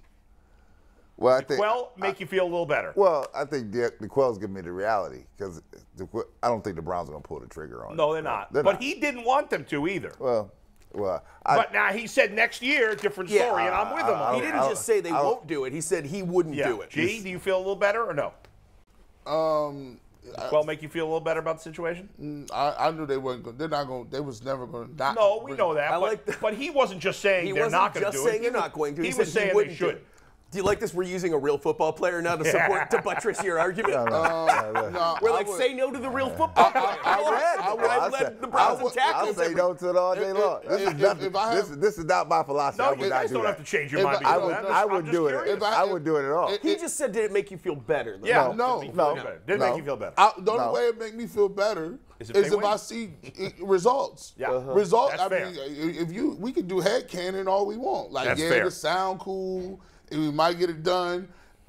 Coming up in, uh, in I think one of the other second uh, segments, we doing a um, resolution. For Yeah, that's Browns. coming up now, right? We'll do headlines. We're gonna Yeah. do resolutions a little later. I- Okay. it'll- it'll we did in. promise that we got to. We do have to tease membership stuff. I, I was just going to bring that up. I love one on the same wavelength. Gee, we got to talk about memberships. Got. Uh, you and uh, you and I love doing the bonus content. Everybody loves doing the bonus content. Overtime. There's the starters tier for your emojis and your community posts, and you're always G is always chatting with people. Doesn't matter time of day. I was I was mad. I was mad at Bull and at Didi. I was uh, in, in the chat. what? I said I'm tired of hearing about the Bengals and the Steelers. tired of it. There's like, dang, dog. It was like two in the morning. There's like, you, why you still up, dog?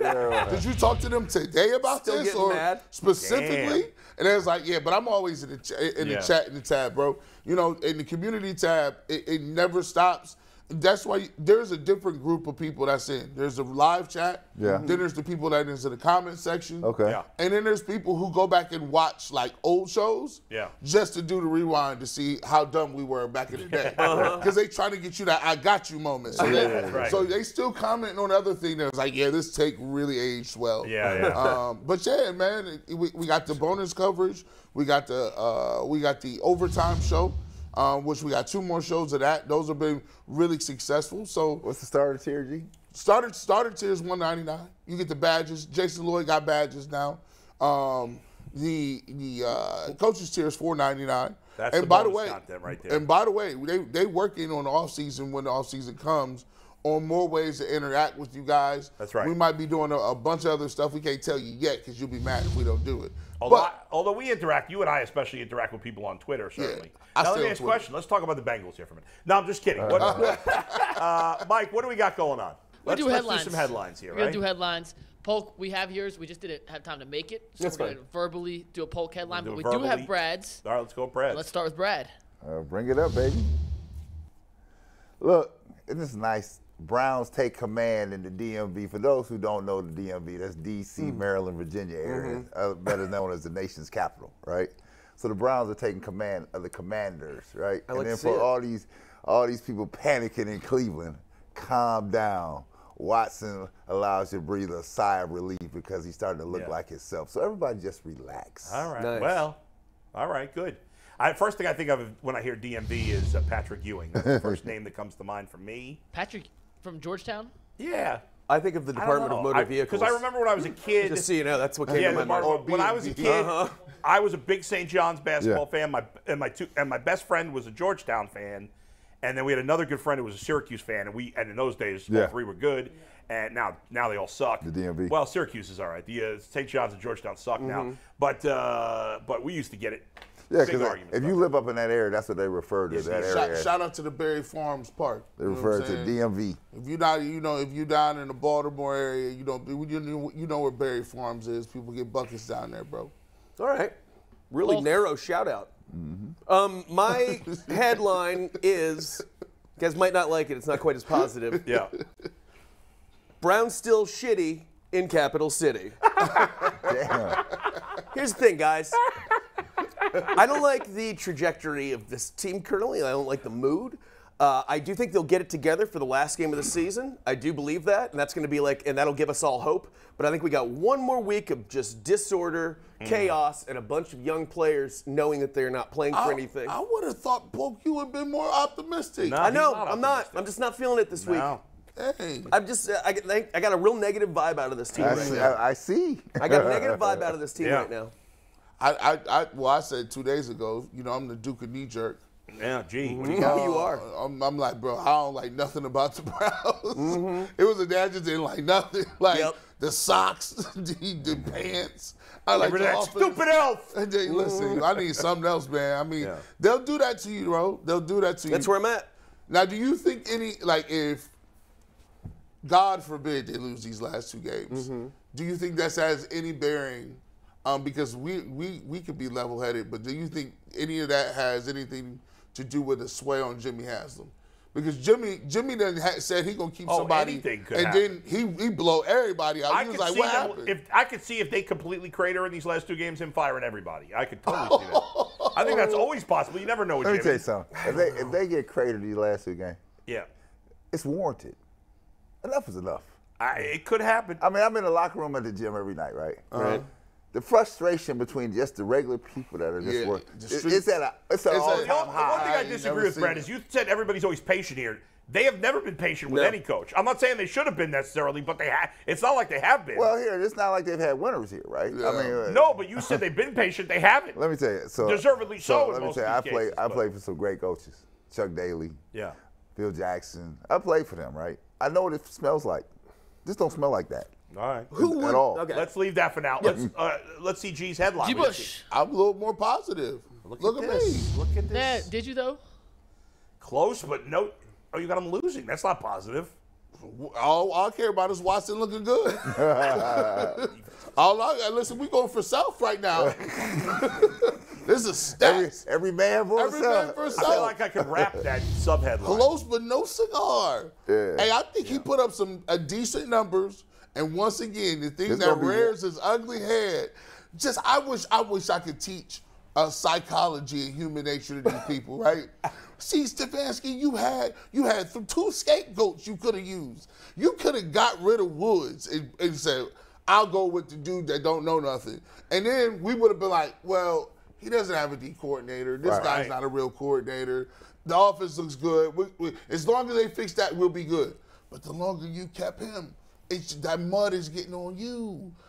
You got to do it a little. I, same thing with Baker. You did a masterful job with Baker. You just scapegoated him. He now he now watching the other uh, organizations in the league. No, how, how no. they scapegoat How they going? Matt Rhule, they got Matt. They started Matt Rhule's hot seat like the the last few games of his first year.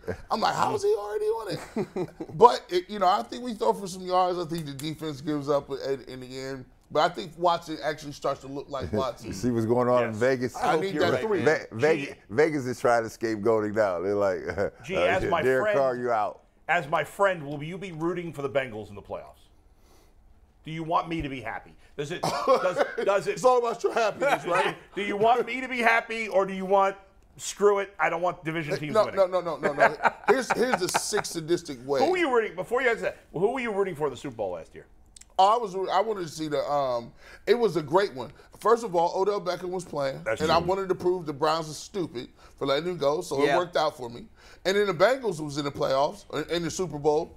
One year after drafting Ja'Marr Chase and Joe Burrow, so y'all was dumb as hell for telling me that we can't get it done. We got to have a ten-year plan. Yeah. So it was great. I also have a friend who is also one like a frenemy friend who is a huge Lions fan. Yeah. So the fact that Matthew Stafford left and Right. immediately won a Super Bowl was really Yeah. satisfying as well. Like, uh, That was great. I, but here's, I will say this though. I, I Now, you and I have become much closer friends in the last year. I would want the Bengals. Here's the reason. The only reason I want the Bengals to win is so that I could look at the Browns and say, "You dummies, you stupid, you, I hate your face." Is that what this is? These dudes is in our division winning, uh. and look what we got. Mm-hmm. That you, you, I like pressure. I mm-hmm. love pressure. All right, we'll be talking Bull, about the Steelers Bull, do you want to wrap Okay. that, that sub headline? You said Uh, you could spit some bars to that. No, I, yeah, I, I thought I thought G's subheadline would be good, good couple of rap lyrics because they rhyme. I don't know. Rap lyrics, come on. You want to rap it for us? He- I could. no, no, I yeah, don't. pull it back up, Steve. He, he want, little- give, him- give him that Run DMC flow. Here it Watson comes. looks great, but the defense gives up late. That's that Run DMC flow. elite, elite. All right, Bull, you ready for A yours? hip, Remember when hop, Aerosmith- the by the way, hippie, hippie, hippie, remember when Aerosmith you don't and, uh, Rock Run Run DMC DMC came together, together, walk yeah, the- walk this way. Yeah. Walk That this was way. awesome. Walk I love this that. I hate that flow. Well, You yeah, didn't I like know. that? No. Of course was not. awesome. Of course not. But that's not the point. It was. It was an important cultural moment. Yes, it was. You'll recognize. cool. it. Yes, I I, I like music where people die in it. I like people. What? I like music where you get smacked with the burner. Yeah. I catch you outside. What? Right. I strip you down. Positive. Take your Yeah. Jewels. jeez. I'm gonna have to. I'm gonna have to stop. I'm gonna have to stop fooling with y'all. Y'all too crazy. my headline there, What's the deal? What's the deal? Come on now. We got my headline? We got yours, and then we Yeah. did a production headline too. Okay, so, go ahead. Bull, you're up next. Yes, here we go. Watson arrives. Watson, I, I double Watson. That's kind of poor, but Yeah, uh. I should have said Yeah, yeah. Deshaun on the second one, or, or Deshaun on the first one. But anyway, Watson breaks out with 321 yards and three touchdowns. Bull, that's, that's coming. It's Oh, going to be good coming. weather in, in Washington. That's what I was just about to say. It's gonna be warm this weekend for him. Yeah. Oh, this thing, this thing is coming. I Yeah, I think hope the, you're I think David Njoku, who played his worst game of the year last week, and overall has had a very good season. Uh, I think he's going to break. I think he's going to have a big game. I think David Njoku might go for over 100 yards in this game, like crazy tight end numbers. Uh, Mikey, bring up those receiving yards again. I want to see what yeah, everybody I think looks there's going like. to be a big game for the offense. I think Nick, I think the whole offense is going to play well. I think Nick Chubb has. I think everybody in the offense is having a good Well, day. All they always- need is two. If they get two games where he throw for And that's through 300, 16 games. That's a typo on mine. 300, and Yeah. say for instance, in the last two games, if you get Amari Cooper 1100, you get Donovan Peoples Jones in the nine. I wonder Yeah. if Donovan People Jones got a got a uh, bonus for a thousand a thousand yards. I, I- you know he probably do. You Yeah, get- I don't know. It's a rookie No, it- contract. not, not in a rookie contract. Yeah, probably not. not, in a a rookie rookie contract. contract. Yeah. All right, let's do let's do uh, let's do the production team Production headline. headline. So everyone did Watson headlines. So we went a little different. We went with the ultimate loser. Snyder in command can't even beat the Browns in the battle of the two Well, worst. why would that in be a football. headline in Cleveland? Well, we, we changed it up. We went we went the Washington headline. Just trying to be creative. Just trying to do a little something different. Yeah, But let we him thought stretch out, man. Creatively. Snyder and Haslam might be the two most uh, hated owners. oh yeah, they was in going they was they was going in on the DMV yesterday because they were like, uh, wait a minute now, we going back to Carson Wentz who give us a chance of winning nothing. I said at least with Taylor Heinicke we had a heartbeat. We got a chance to make the playoffs. Now we don't going back it to matters. Wentz. They both suck. That's the that's what they were saying. If Jimmy Haslam, y'all people around here want Jimmy Haslam to sell the team so bad. Yeah. If Jimmy Haslam, they made him sell the team, but the only person that would get the team was Daniel Snyder. would, would, would you If the get- NFL forced Daniel Snyder to sell the Commanders only to buy the Browns, Right, right. do you do you which is worse if you I think? I think Snyder's actually. I, I think Jimmy's the 31st worst owner in the league, the 31st best owner in the league, or the second worst. I think Daniel Snyder's the only one worse. But I, you know what? It's probably a tie. They're both horrible. Daniel Snyder's just been doing it longer. Yeah. And he left an email trail. yeah, That's the problem. I want to see all the emails. Like, don't you wish you had one of the Yeah. Uh, like? Man, I wanna don't see you 'em wish all. you had like Art Rooney as the owner of the Browns? God, Like, Lee, Oh my that's gosh. Like, it, I mean, him. It's so funny. You got him and Jerry Jones, and they make Jerry Jones. Well, not really. It's really what's funny is that we don't we don't get to pick as fans who worship this team, and well, Right. that's the wrong word, forever, and love this team, Yeah. we don't get to pick the character or the capability of the oligarch who purchases the team that we love and that we've always followed. The perfect We just have to get lucky Hey, and look, hope that that- the perfect person is owner a decent These person. franchises, Isn't that these terrible? franchises cost so much now. You have Elon Musk as your owner. Right, That's right. the only kind of people can afford. But you just gotta hope now. that that- that That's whatever- fair. Perfect owner is is Dolan with Jimmy's spending power.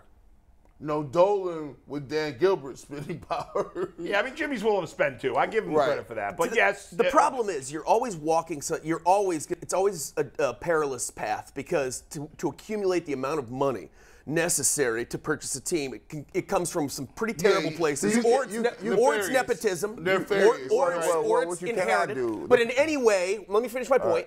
In any way, it probably means that you probably value things differently than most of us do. Sure. You know what I mean? It- it- whether you have, whether you're uh, you're a pineapple, ma- your parents own Dole pineapple, like you didn't work for that, Right. Uh, in, a- in a way that a lot of people did, Yeah. and or whether you made your money as like uh, on Wall Street or something like that. In some way, you're probably different personality-wise, and you just got to hope that the person is a decent person. Well, Yeah. here- well here, here's your here's, here's your story, Mike. Right?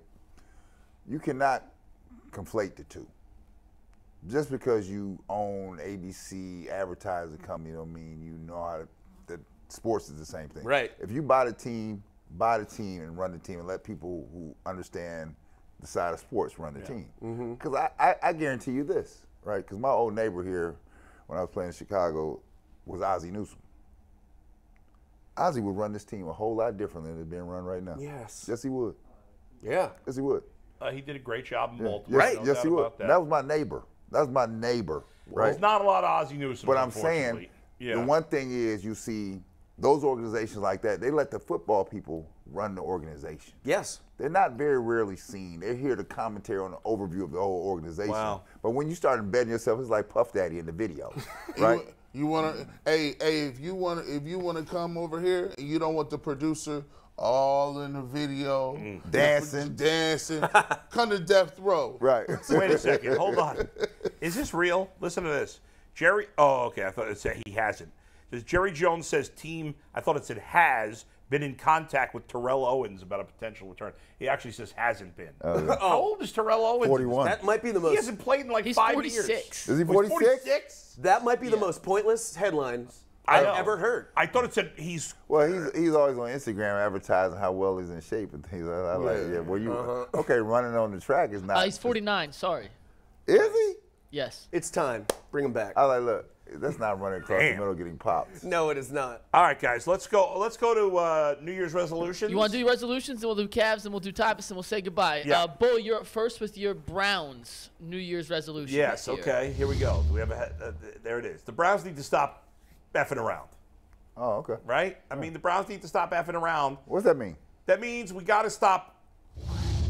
First of all, it means somebody, hopefully, there's somebody within the organization that has the ability to tell Jimmy Haslam to shut the bleep up and stay out of things. Number two, it, you got to stop with all the distra- There's always drama surrounding the Browns. There's every year there's some sort of nonsense, some sort of shenanigans, whether it's off the field or on the field. I mean, every year you could point to some sort of nonsense that's mm-hmm. happened with the Browns, and those distractions have to go out of the way. They have to stop effing around with Joe Woods. They have to stop effing around with Mike Priefer, and Kevin Stefanski has to win next year for two reasons. Number one, we want the Browns to be good because it's good for business. And number two, God damn it, I want to be right. I'm one of the few people that still believes in Kevin Stefanski, and then I can tell everybody else they were an idiot if he pays off. Thank you. And this was a PSA from Petty LeBeau. Betty LeBeau. That's and right. Bull, now time for your personal mm. New Year's resolution. Yeah. So I, I, I'm gonna, I'm just gonna stop. You know, I get aggravated about a lot of things, as anybody that knows me knows. Really? Yeah, right. And I will still continue to get aggravated about a lot of things, but I'm trying to get aggravated about less things. Have a be a little less curmudgeony in general.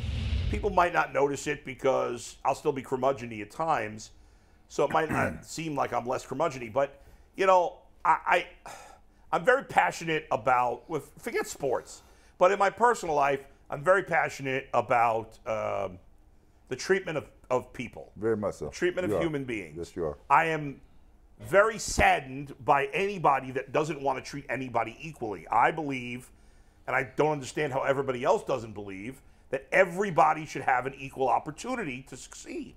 And there are th- and, and and there are things that hold back different groups of people. Uh, not every single person within those groups for being able to succeed, but it it holds back people. Yeah. And so I'm always fighting with people on Twitter, and I'm getting into arguments about uh, things that I guess have been made into politics, which shouldn't be politics. And I got to stop doing that. I want to instead have conversations with people, and because I have found when I've done that, when I, I, I if I can have a reasonable conversation with somebody that feels differently than me, then then then it, then the anger goes away, and then we can just have a reasonable conversation. We may end up disagreeing in the end, but I, I'm not gonna like just. I, I'm done going on Twitter and saying this politician is a piece of crap, and if you don't agree with me, you're an idiot because that's not getting anything done.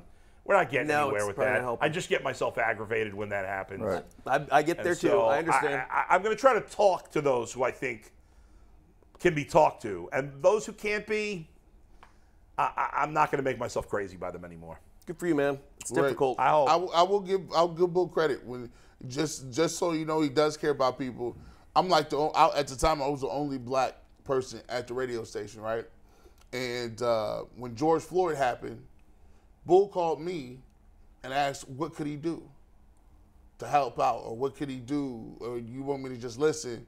And the crazy thing is, it wasn't like he did it to solicit anything Right, or I called anything. He just called like, yeah, like I, I feel really bad about it. was like, soul. Yeah. just like, yo, I Yeah. just want to, you know what I'm saying? And I never forgot that because at the time, you know, we would cross paths or whatever, but we weren't, you know, as close as we are now, uh, obviously working. And he just uh, on some on some real stand up stuff was like, yo, hey, uh, it's crazy what's going on in the world. I just wanted to see where you at with it. Right. And what can I do as a white male to to hopefully end some of this kind of stuff. So I, I always thought that was really dope of him to do that. So he he does when he says he cares about equality, he does. Like even when you know even before we even got to this point.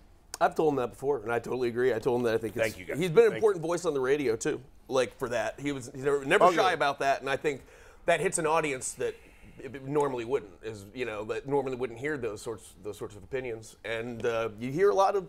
You hear a lot of talk. Uh, you you don't have any trouble hearing a lot of talk uh, on the other side on a lot of stations, and, and so it was good hearing. It was Thank always you, good hearing and that. thank you, G. And I, I just feel like a lot of times when people don't like somebody because of their race or religion or sexual orientation, a lot of times it's because they just don't know any better. Not everybody that feels certain ways is always a bad person. Sometimes they're just ignorant. Yeah. And they just don't know. Like if you didn't, I once had somebody. I, I swear to God, when I was like 19, 20, and I was living in upstate New York. This is like 1990, 91. I don't know the exact year. Somebody and, and they met me, and I told them I was Jewish, and this person had never met a Jewish person before. I swear to you, this person asked me if I had horns because, like, I know that sounds crazy, but like they're in some wild circles, they think Jewish people have horns. This is like insanity. But like, I didn't get mad at the guy for asking me the question. I said I didn't at the time. I didn't even know that there was such a thing about Right. this. There was no internet, or if there was, I didn't Right. know it. And I just had a conversation with this guy, and he ended up becoming a friend. And it didn't matter that I was Jewish. It didn't matter. cool. It didn't matter if someone's black or gay or Latin or Jewish or Muslim or whatever they are. Because if you get to know people as people, yeah, there's always going to be some D bags in every group, but the majority of people are good people. If you give them a chance and get to know other people that are not, you know, if you grew up where everybody was white and Christian and, and straight, you, you, you're going to be scared of people maybe you don't know. But if you get to know people, you realize that most people are good people. And if you give people a chance and you talk to them and have a conversation instead of just being, I don't know, I'm rambling a little at this point. I just think, That's all right. yeah, damn. Anyway, I, it on. was very nice of you, though, not to, when that guy made that comment for you not to use your Jewish magic to put a hex on him. Exactly. My Oh space God. laser. Yeah, you could have. You, I you could could have used you could have done laser. that. I have access oh to the space Yeah, laser. just saying. Very cool of you. All right, G. Bush, it's time for your Browns New Year's resolution. Yeah, I, so I didn't I didn't even send you a personal one, but I got one though. No, we made one for you. Don't worry. Oh, so you just made it up for me. And, and you'll you'll see why. Okay. And because I didn't know we were supposed to physically send either. I'm just gonna say mine. Yeah, no, I texted it, but it's okay. Sorry. Uh, for me, uh, it's for the uh, sports wise. Um, it's for the Browns to have the number one offense or the number one defense. And wh- what I've come to the conclusion of is, right now we we're in this pursuit of, you know, these mythical places. We're in the pursuit of just being competent and good. And we've talked about whether the Browns should run a lot. We talked about whether they should pass a lot. Mm-hmm. We talked about is their defense good or is their defense just serviceable.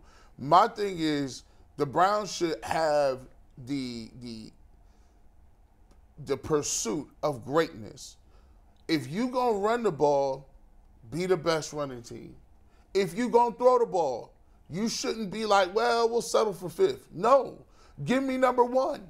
I want number one. If you're gonna be the best defense, I need you to be the best defense in the league.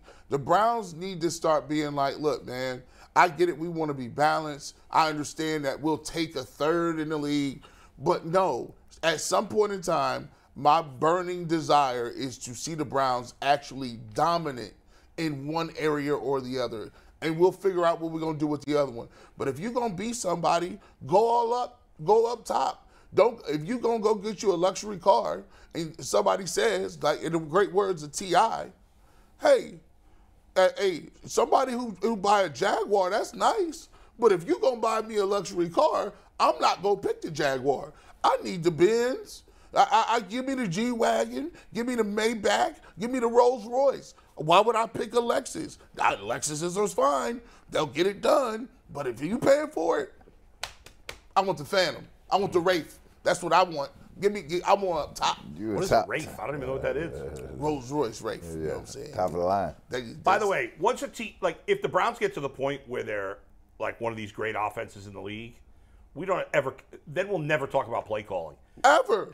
because it won't, we're not going to be talking about should they run more, should they pass more. Ever. Once No. you're a good offense, you don't worry about You don't worry crap. about nothing. You don't Yeah. second guess that. That's that's a great. We got to get Oh to that. yeah, We and then, get like, to that. think how fun these re- these re- these recordings will be to look at then. Oh, yeah, yeah. Nobody will like- talk about you ran Well, the ball on are- third and two. Yeah, no. Yes, exactly. The arguing over how many were carries. Because you know, what ah, we didn't get the first down, so what? We'll get an extra drive. We'll score a Exactly. touchdown extra. By the way, speaking of Lexus, when I was like 22, I was working as a gopher for an oil company, and my boss used to take let me take his Lexus.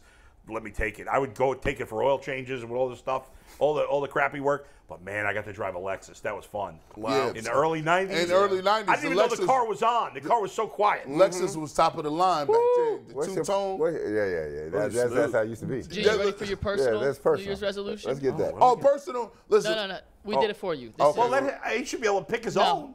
no, Go no, he lost that privilege because his new New Year's resolution is he's gonna get stuff to the production team on time when they ask for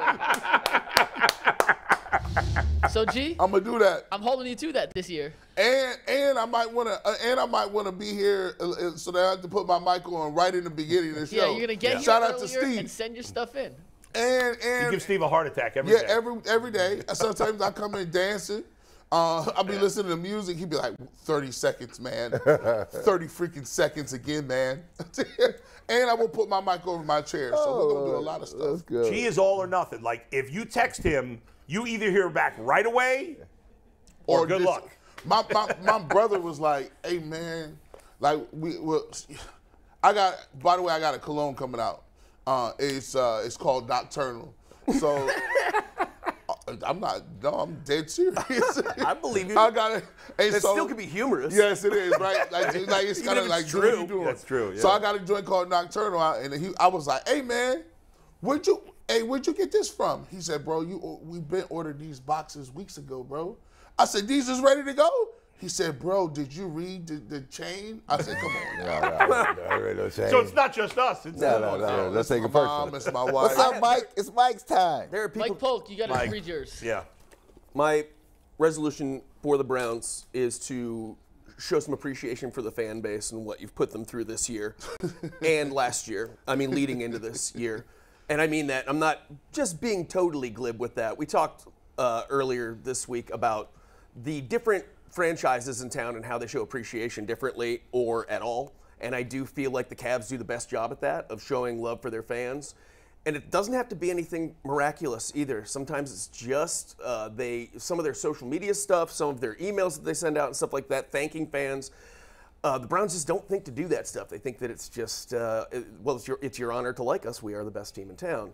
The Cavs, for example, at the end of every season, they have fan night where they just empty out the prize closets of all the crap they gathered from throughout the year. It could, but it, and some of it's just like Stuart Little um, Right. sandals from a promotional movie thing and stuff like that. It makes no sense. MGK bobblehead. Yes, exactly. Anything old Anderson Varejao wigs that were clogged behind some duct somewhere that they found, they just throw it. But people love it. They love and the it. Fans love love it, and the stuff. kids go to it. I mean, I did like seeing last week at the game when they sent when they made all of the people come down from the 500s and go down into the lower seats because they were Only- like just to, for warmth, if nothing Only, else. only after halftime. Oh, yeah, that's only after halftime. crazy. Uh, it is. That is bad. But I do like thinking of the people who bought like $800 seats right here. Just late. Yeah, eight hundred dollars seats right here on the fifty yard line, Yeah. and then uh, like my unwashed drunk friends get to come and sit next to him, put their arm around some lady from Bay Village, like ah, I love that. Anyways, that's my uh, that's I want you to just show appreciation, however you can figure out how to do that, because you put it's been a rough one. You're just like, well, it's just a waiting year. You know it's going to be next year. People, we're still here. We're still got to sit through this, just so you know. Personal resolution: I'm going to eat at 20 different Red Lobsters in 2023.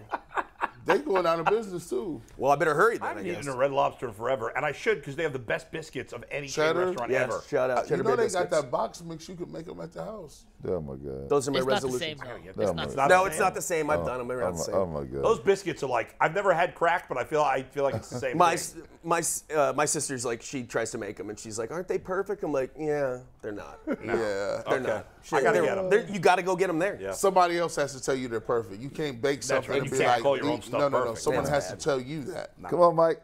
Brad is up. Brad, let's see your. s- Let me see what it is. I forgot. Mm. oh yeah, here's my New Year's resolution for the Browns. The Browns truly want to be great and will make whatever move necessary uh, moves necessary to get to that level. Please, Mm. I'm so hopeful. Listen, time is ticking here, right?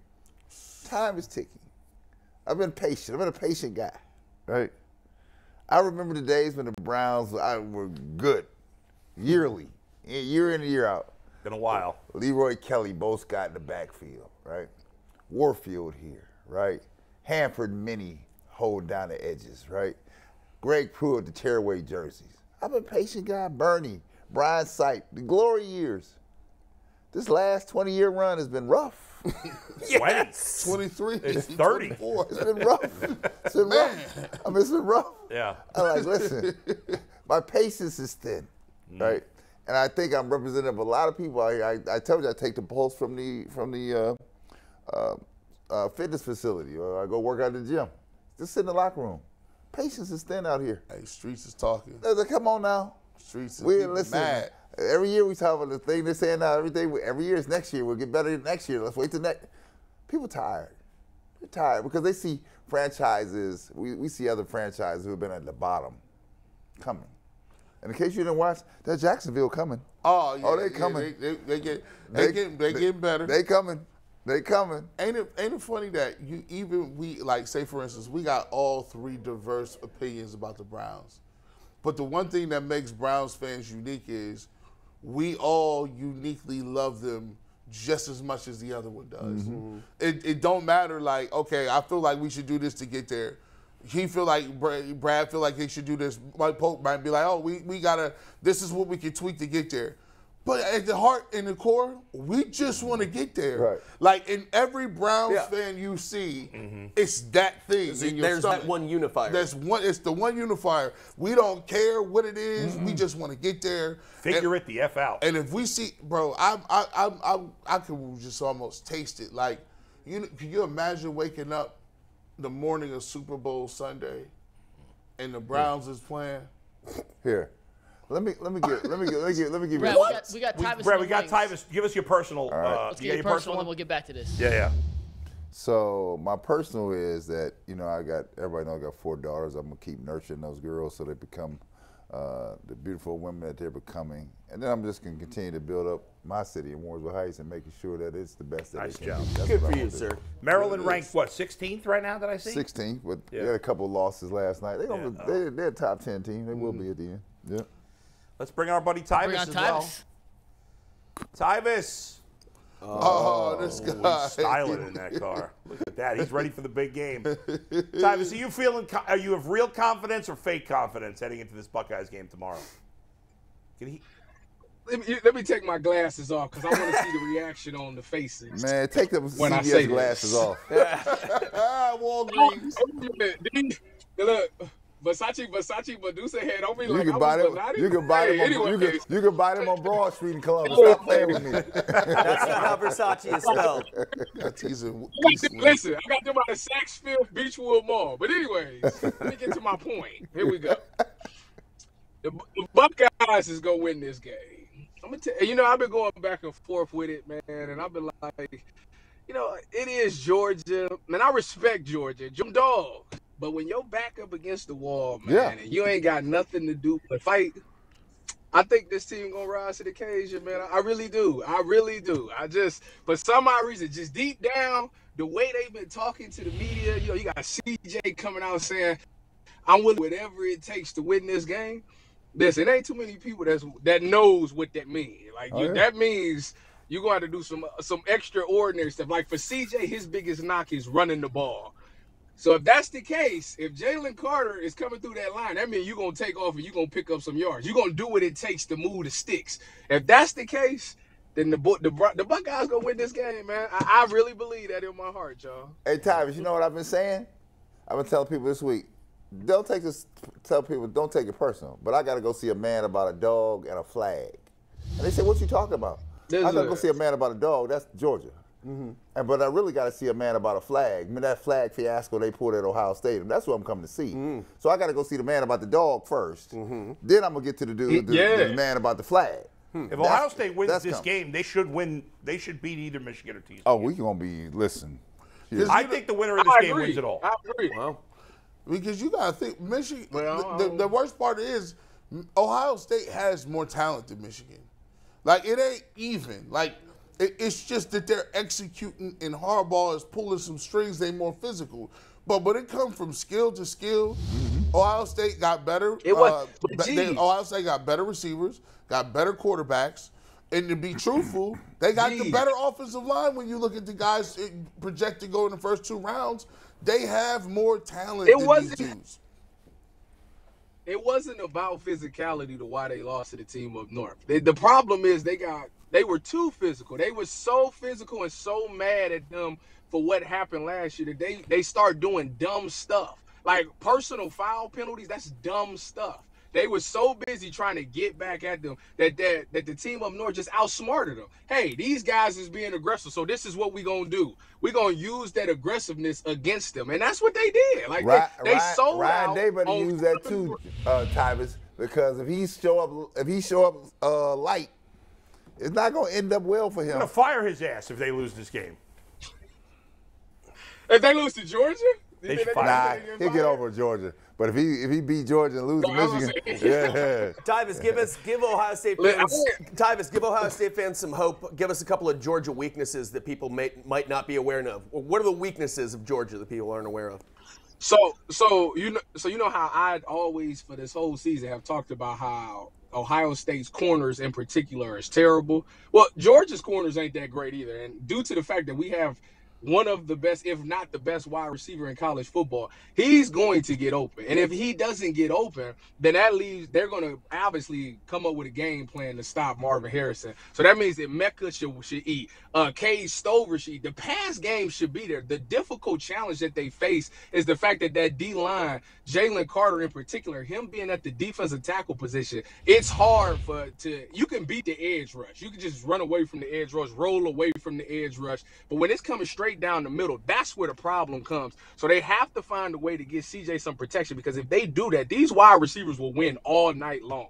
That's where they can win this game is in the second in, in Georgia's secondary. Am I crazy? Or does it seem like it's raining in Tyvus's car? No, but I'm looking. I'm looking at the tower behind this thing. Where you at, man? It's a In very the hood? disturbing You understand? That's perspective. an old ghetto style uh, Listen, transformer listen, behind listen. you. Close the thing. You know what, y'all, y'all, y'all worried about, y'all worried about the goes. wrong thing.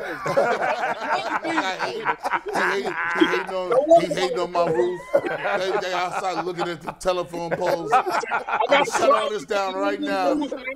oh, that's Gotta close the bubble rules, man. Y'all ridiculous. I come correct on the set, baby. It does, listen, in the end, Michigan kicked Ohio State's ass. not We- supposed to be paying attention It that. did look like it was raining in his car.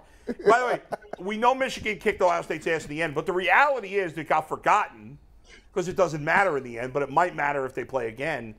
Is that Ohio State really dominated the first half of that game? They did.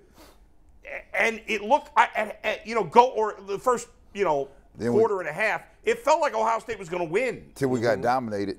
and then it just flipped, and Ohio State was garbage the So, rest so of the way. because you, if you think about it, going into it, they had a couple of pass plays that you know one was one was busted coverage and the other one was because a corner missed the tackle. So going into halftime, they feeling good. Like, listen, we we don't make those mistakes. We're blowing these guys out. The problem is they forgot to come out in the second half. Now, see, the game plan was to stop the run. They embarrassed us in the run. So that's why you run cover zero. You got your corners playing man to man. Everybody should be accounted for. Now I can send guys in on the blitz. And they got this freshman quarterback here who we don't know if he's good or not. So let's put some pressure in his face to see how he acts. And he actually made some key throws. So that's what put them up at or had them in the game at halftime. Second half, we made they made these things called adjustments. The Cleveland Browns should learn something about it. But they came out, made some adjustments, and said, "Hey, they really selling out on the on the pass, and let's start hitting them with some runs." Now the now the I'm about to call them the Browns. The Buckeyes start misfitting gaps,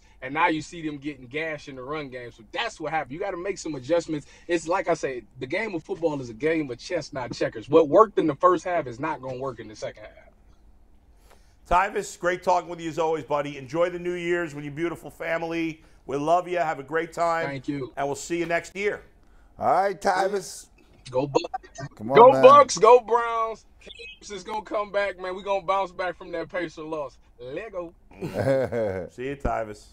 All right, there's our last guest of 2022. yeah, What, yeah. a, what an appropriate note. Yes. You know? Guys, uh, the Cavaliers. Yes. Uh, last three games, they've dropped three in a row. Yeah.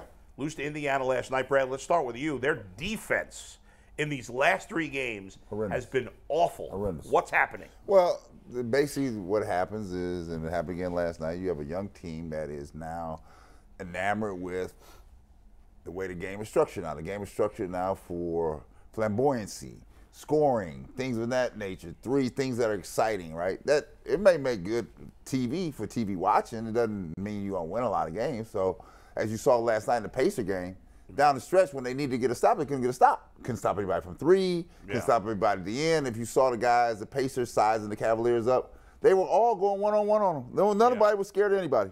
And so that is what has happened in the last three games. The way you win in this league is you have to defend people on a consistent basis. You have to be able to shut people down. And if you don't, if you think you're going to win by outscoring people, you may win some game. You won't win the ones that count. That's the problem.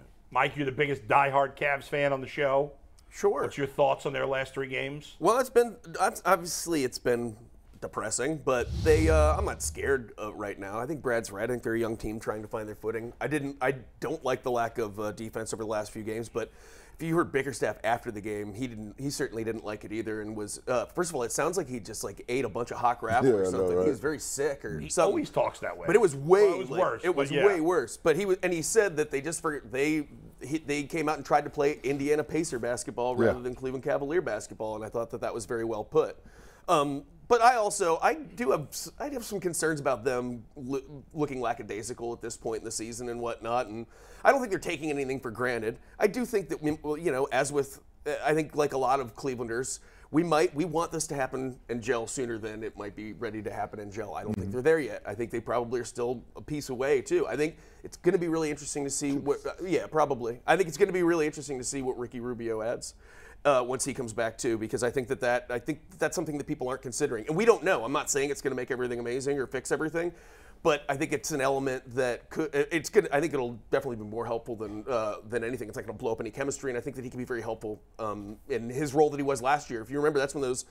I think his leadership is great, but you can only lead so much from the bench, and I think he's got to get out there. Gee, you panicked at all? No, I, I'm not really panicked, um, but I don't like certain things. For for young teams, like I could understand if it was an older team. And older teams are like, yeah, I don't want to play full tilt, you know, defense. I'm tired. I'm, I'm resting my legs for the for the playoffs. For me, the Cavs uh, be prior to this was the number one defensive team in the league, right? And if you're the number one defensive team in the league, it should seem like that would be a thing that would stick with you. to be that card. good, that should be something that doesn't waver because you're number one at that. And people should be excited about the fact that that's you, you see the correlation between that stat and the way you're playing and winning. So when you see a, a, uh, you know a regression in that, it gives me pause a little bit. I've always said it this too. The the Cavs won't really be a championship contender unless Evan Mobley becomes like he has to at least be the second best player. Or Mike, if you could get him to be, I'd give me 21 a game, 20 and 10, 20 and 12, two blocks. Right now, 14.5, that's okay, right? One, those numbers are decent. I would like to see that a little higher. I need to see about 12 rebounds. And if you can get him around 20 points and he's a, a game changer, there's sometimes that he, he floats around. And I think JB needed to do it like this, like they used to do Kevin Love back in the day when LeBron was here. We coming out, the focus is Mobley. We want to get him open early. We want to get him some lobs. We want to get him some touches, maybe get him free throw line, because now he's involved in the game and he, his confidence when you're a young player goes up when you getting touches mm-hmm. and you see the ball goes in. Then that unlocks his ability to play defense and his energy level. They need to get him more involved and don't let him to be. Him and Allen ain't the same thing. Allen is a is a guy that can get it on rim runs and garbage stuff. Mm-hmm. They need to focus on Mobley to get them where they mm-hmm. want to go. That's They got- a great point, G. And there, there are some other teams around the league, and we'll get to what I texted you in a Yeah. sec. But the Nets, even with KD, Kyrie, when they had James Harden, ran the first play for Joe Harris every night. It was Right. the most predictable play in the entire NBA. get The Joe going. Harris double screen. The 76ers last year with Embiid, all the guys they had. Seth Curry got the first shot, 9 out of 10 games. Getting Mobley going early, especially a designated play where let's run some action for him to be aggressive, it's a really good idea, G. Darius Garland, uh, by the way, banged up. Uh, Chris Fedor said Yeah, he- his hand, right? his thumb was wrapped in ice after the game. It was swollen. He may miss some time. Oh. We'll keep an eye on that, guys. Um, I, will- one more thing though, Yeah. I will say last night the Pacers shot. They, they were Yeah. ridiculous. They shot. I think they shot like 65 percent from 60, three. 61%. And You know what I mean? seen- you know, one of the like obviously the way they played defense the last few games is disappointing because that's something that it feels like it's mostly about effort on defense. But the Cavs, as we've said, are a young team and they've been a little up and down. But the good news is the ups have been much more frequent than Yeah. the downs. The one thing I am concerned about, like for looking ahead, and Brad, you said you they may be two players short. Two. You know, Kevin Love, even at his best, was not a good defender he's now borderline he's a major liability on defense. Like when you're playing, like when they're in the playoffs, I, what are they going to do about Kevin Love? Well, first of all, the, you, you talk about the defensive side of basketball. That's how you win games. There has to be a commitment. Especially in the playoffs, You've got to right? be able, you have to commit to that's what I'm going to do, right? And I want to do it every night. You don't have to tell me this is what we're going to do. We got to make a stance. So there's got to be a commitment there. You look out there, everybody's an offensive player, right? You can't get any stops. To G, I'm not sure that Mobley's ever going to be a 22 and 12 guy, right? Oh, really? This is it's- So- so I- I- d- dig down on that. Because why here- would you? see- Because What- you, because you I- know big. Because Why? of the team. Because- or his be- skill set. Because I have Garland Yeah. and Mitchell out front, right? So 14 could easily become 18. If you give Right. me 18 and 10, I'm good. The problem here's the problem, G. They're three man away, right? The three man situation's got to be resolved, right? I know Caris is trying to come in and give us some points David. here. We done tried uh, Stevens and everything else. It's okay. You need a three man because you need one again. You need I tell you, you need offensive firepower because when one of the two out front go down, like when Garland or Mitchell wasn't having a good game, you only left Garland to go for 46, Mitchell get 12, Right. right? You got to have another guy out there that can, can consistently get you a bucket. Don't we know? Don't we, Brad? Sorry to cut you off, but don't we know where this is going? The Cavs are going to make the playoffs this year. Maybe they'll win one round. Maybe then next year they'll go a little deeper, and then LeBron James can opt out of his contract with the Lakers. Well, LeBron James can opt out uh, in the summer. No, he can't opt out this summer because he re-signed. I thought he had an opt out. His opt no, his opt out next year. after next year. So here, here's the here's I the know he's going to be 40 by then. Here's the, here- here's the, here's the story because, again, you have to figure out what we have going on here, right? and I'm not one for playing down the road. Sure, I I'm get knocking on the door Yeah. right now, right? Will you make a move necessary? Because now I saw la- after the last three games, defensively, you got a problem here, right? Who is the person out here that's going to now Mobley and Allen? They try to clean it up on the back. Who's the guy out front that's Front- setting the tone, saying front line this pick is and- this is not what we're doing out Front here? line right? pick and roll defense is not, has not been good. Uh, at the, and, and you guys take the challenge at the point of attack. Right. You, you know you can't be so apt to let a guy blow by you. Listen, they were si- got gee, they were sizing people up last here. Uh, uh, the the guards from Indiana, Halliburton. Halliburton, Mathurin. They were uh, healed. Halliburton is really good. They were sizing Mikey. They were sizing up, and not they wasn't backing down from anybody. They were like, "Give me the ball, and I'm going right at you because you're not gonna stop me." After they put Darius in like a couple of situations on the side, they just blew by him.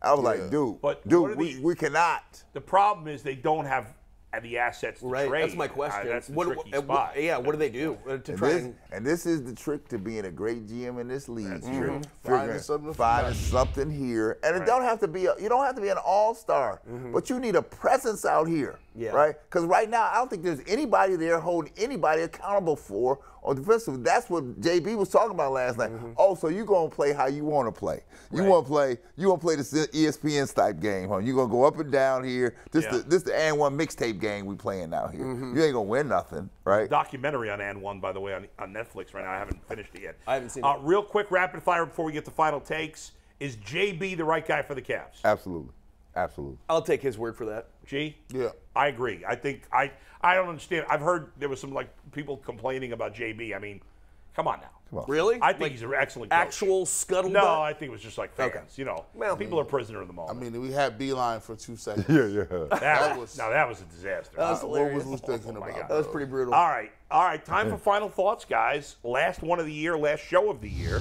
We'll be back on. We'll do overtime, but we'll be back on Monday from, From home. home. Who's on? Me, G, and who? Me, you, G. I think that's it. That's it, isn't Just it? the three of us. Maybe just three of us. Yeah. We'll be on for the first show of the year from homes, and then back in the studio next Tuesday. Brad, you're up first. Yeah, so my final take is this. As we close out uh, year 2022, let's end it in, uh, in peace, right? No silliness over the weekend here. Let's sit back, enjoy the great sports weekend. We've got, obviously, I got them Terps on today. I got uh, Ohio State football on because I'm going to see a man about a dog before I see a man about a flag, right? That's what's going on here. And then on Sunday, Sunday, Sunday, Sunday, the return of Watson.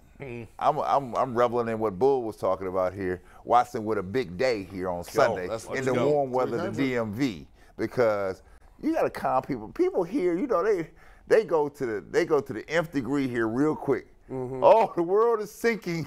The world is sinking. I like relax, relax. We already had a tough hand with that suspension being handed down here, and we get into reality. Watson will return after much work is put in, he will return. And in the offseason, what we can hope for as we move into 2023 is that what? The Cavs make a good run here in 2023, make the necessary moves to get better here. And then we get into the summer, you have the Indians, the Indians, the Guardians doing their thing again, right? Tito under good management. And then we're going to the fall. And by that time, I hope that the Cleveland Browns have their act together and figure out exactly what they have at their disposal and get out of their own way and stop tripping on their own feet.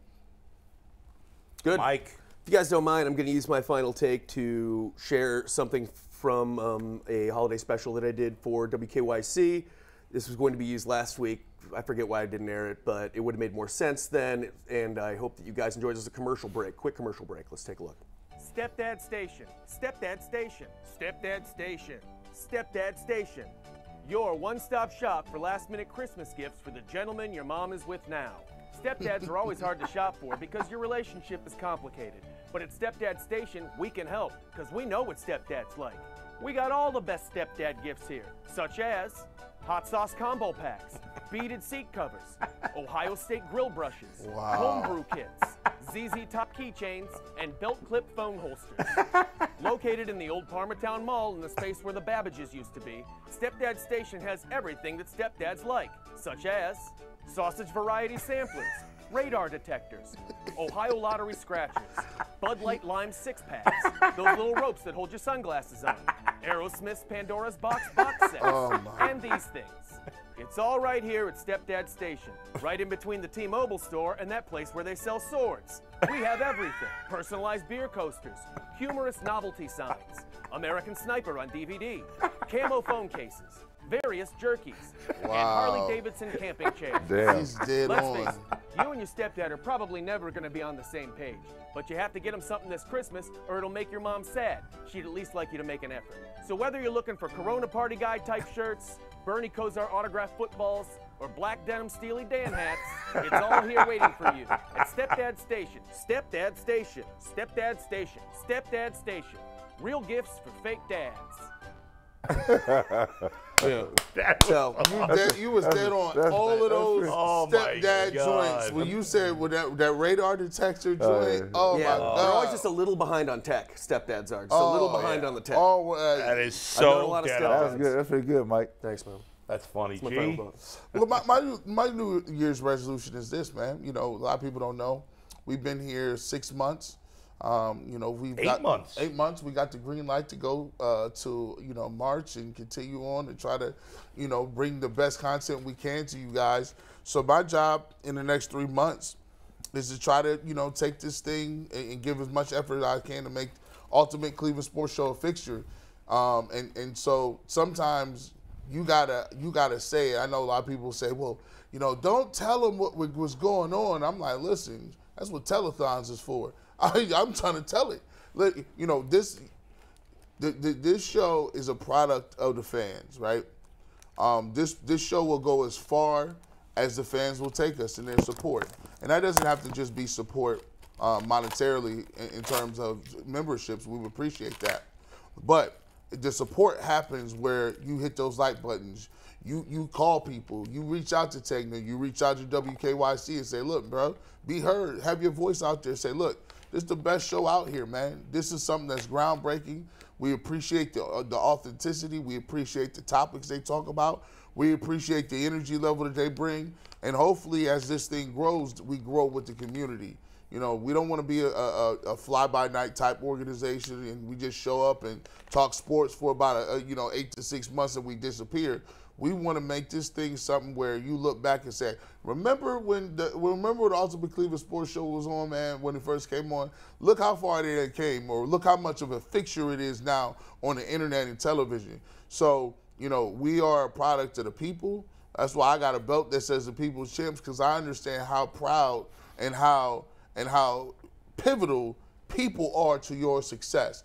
This isn't just me up here. I look at it as a partnership with us and the community, and so I feel like uh, you guys will, will will take us as far as we go. And if you were willing to, we're willing to put in the work and continue to give you great content for, on a long term basis.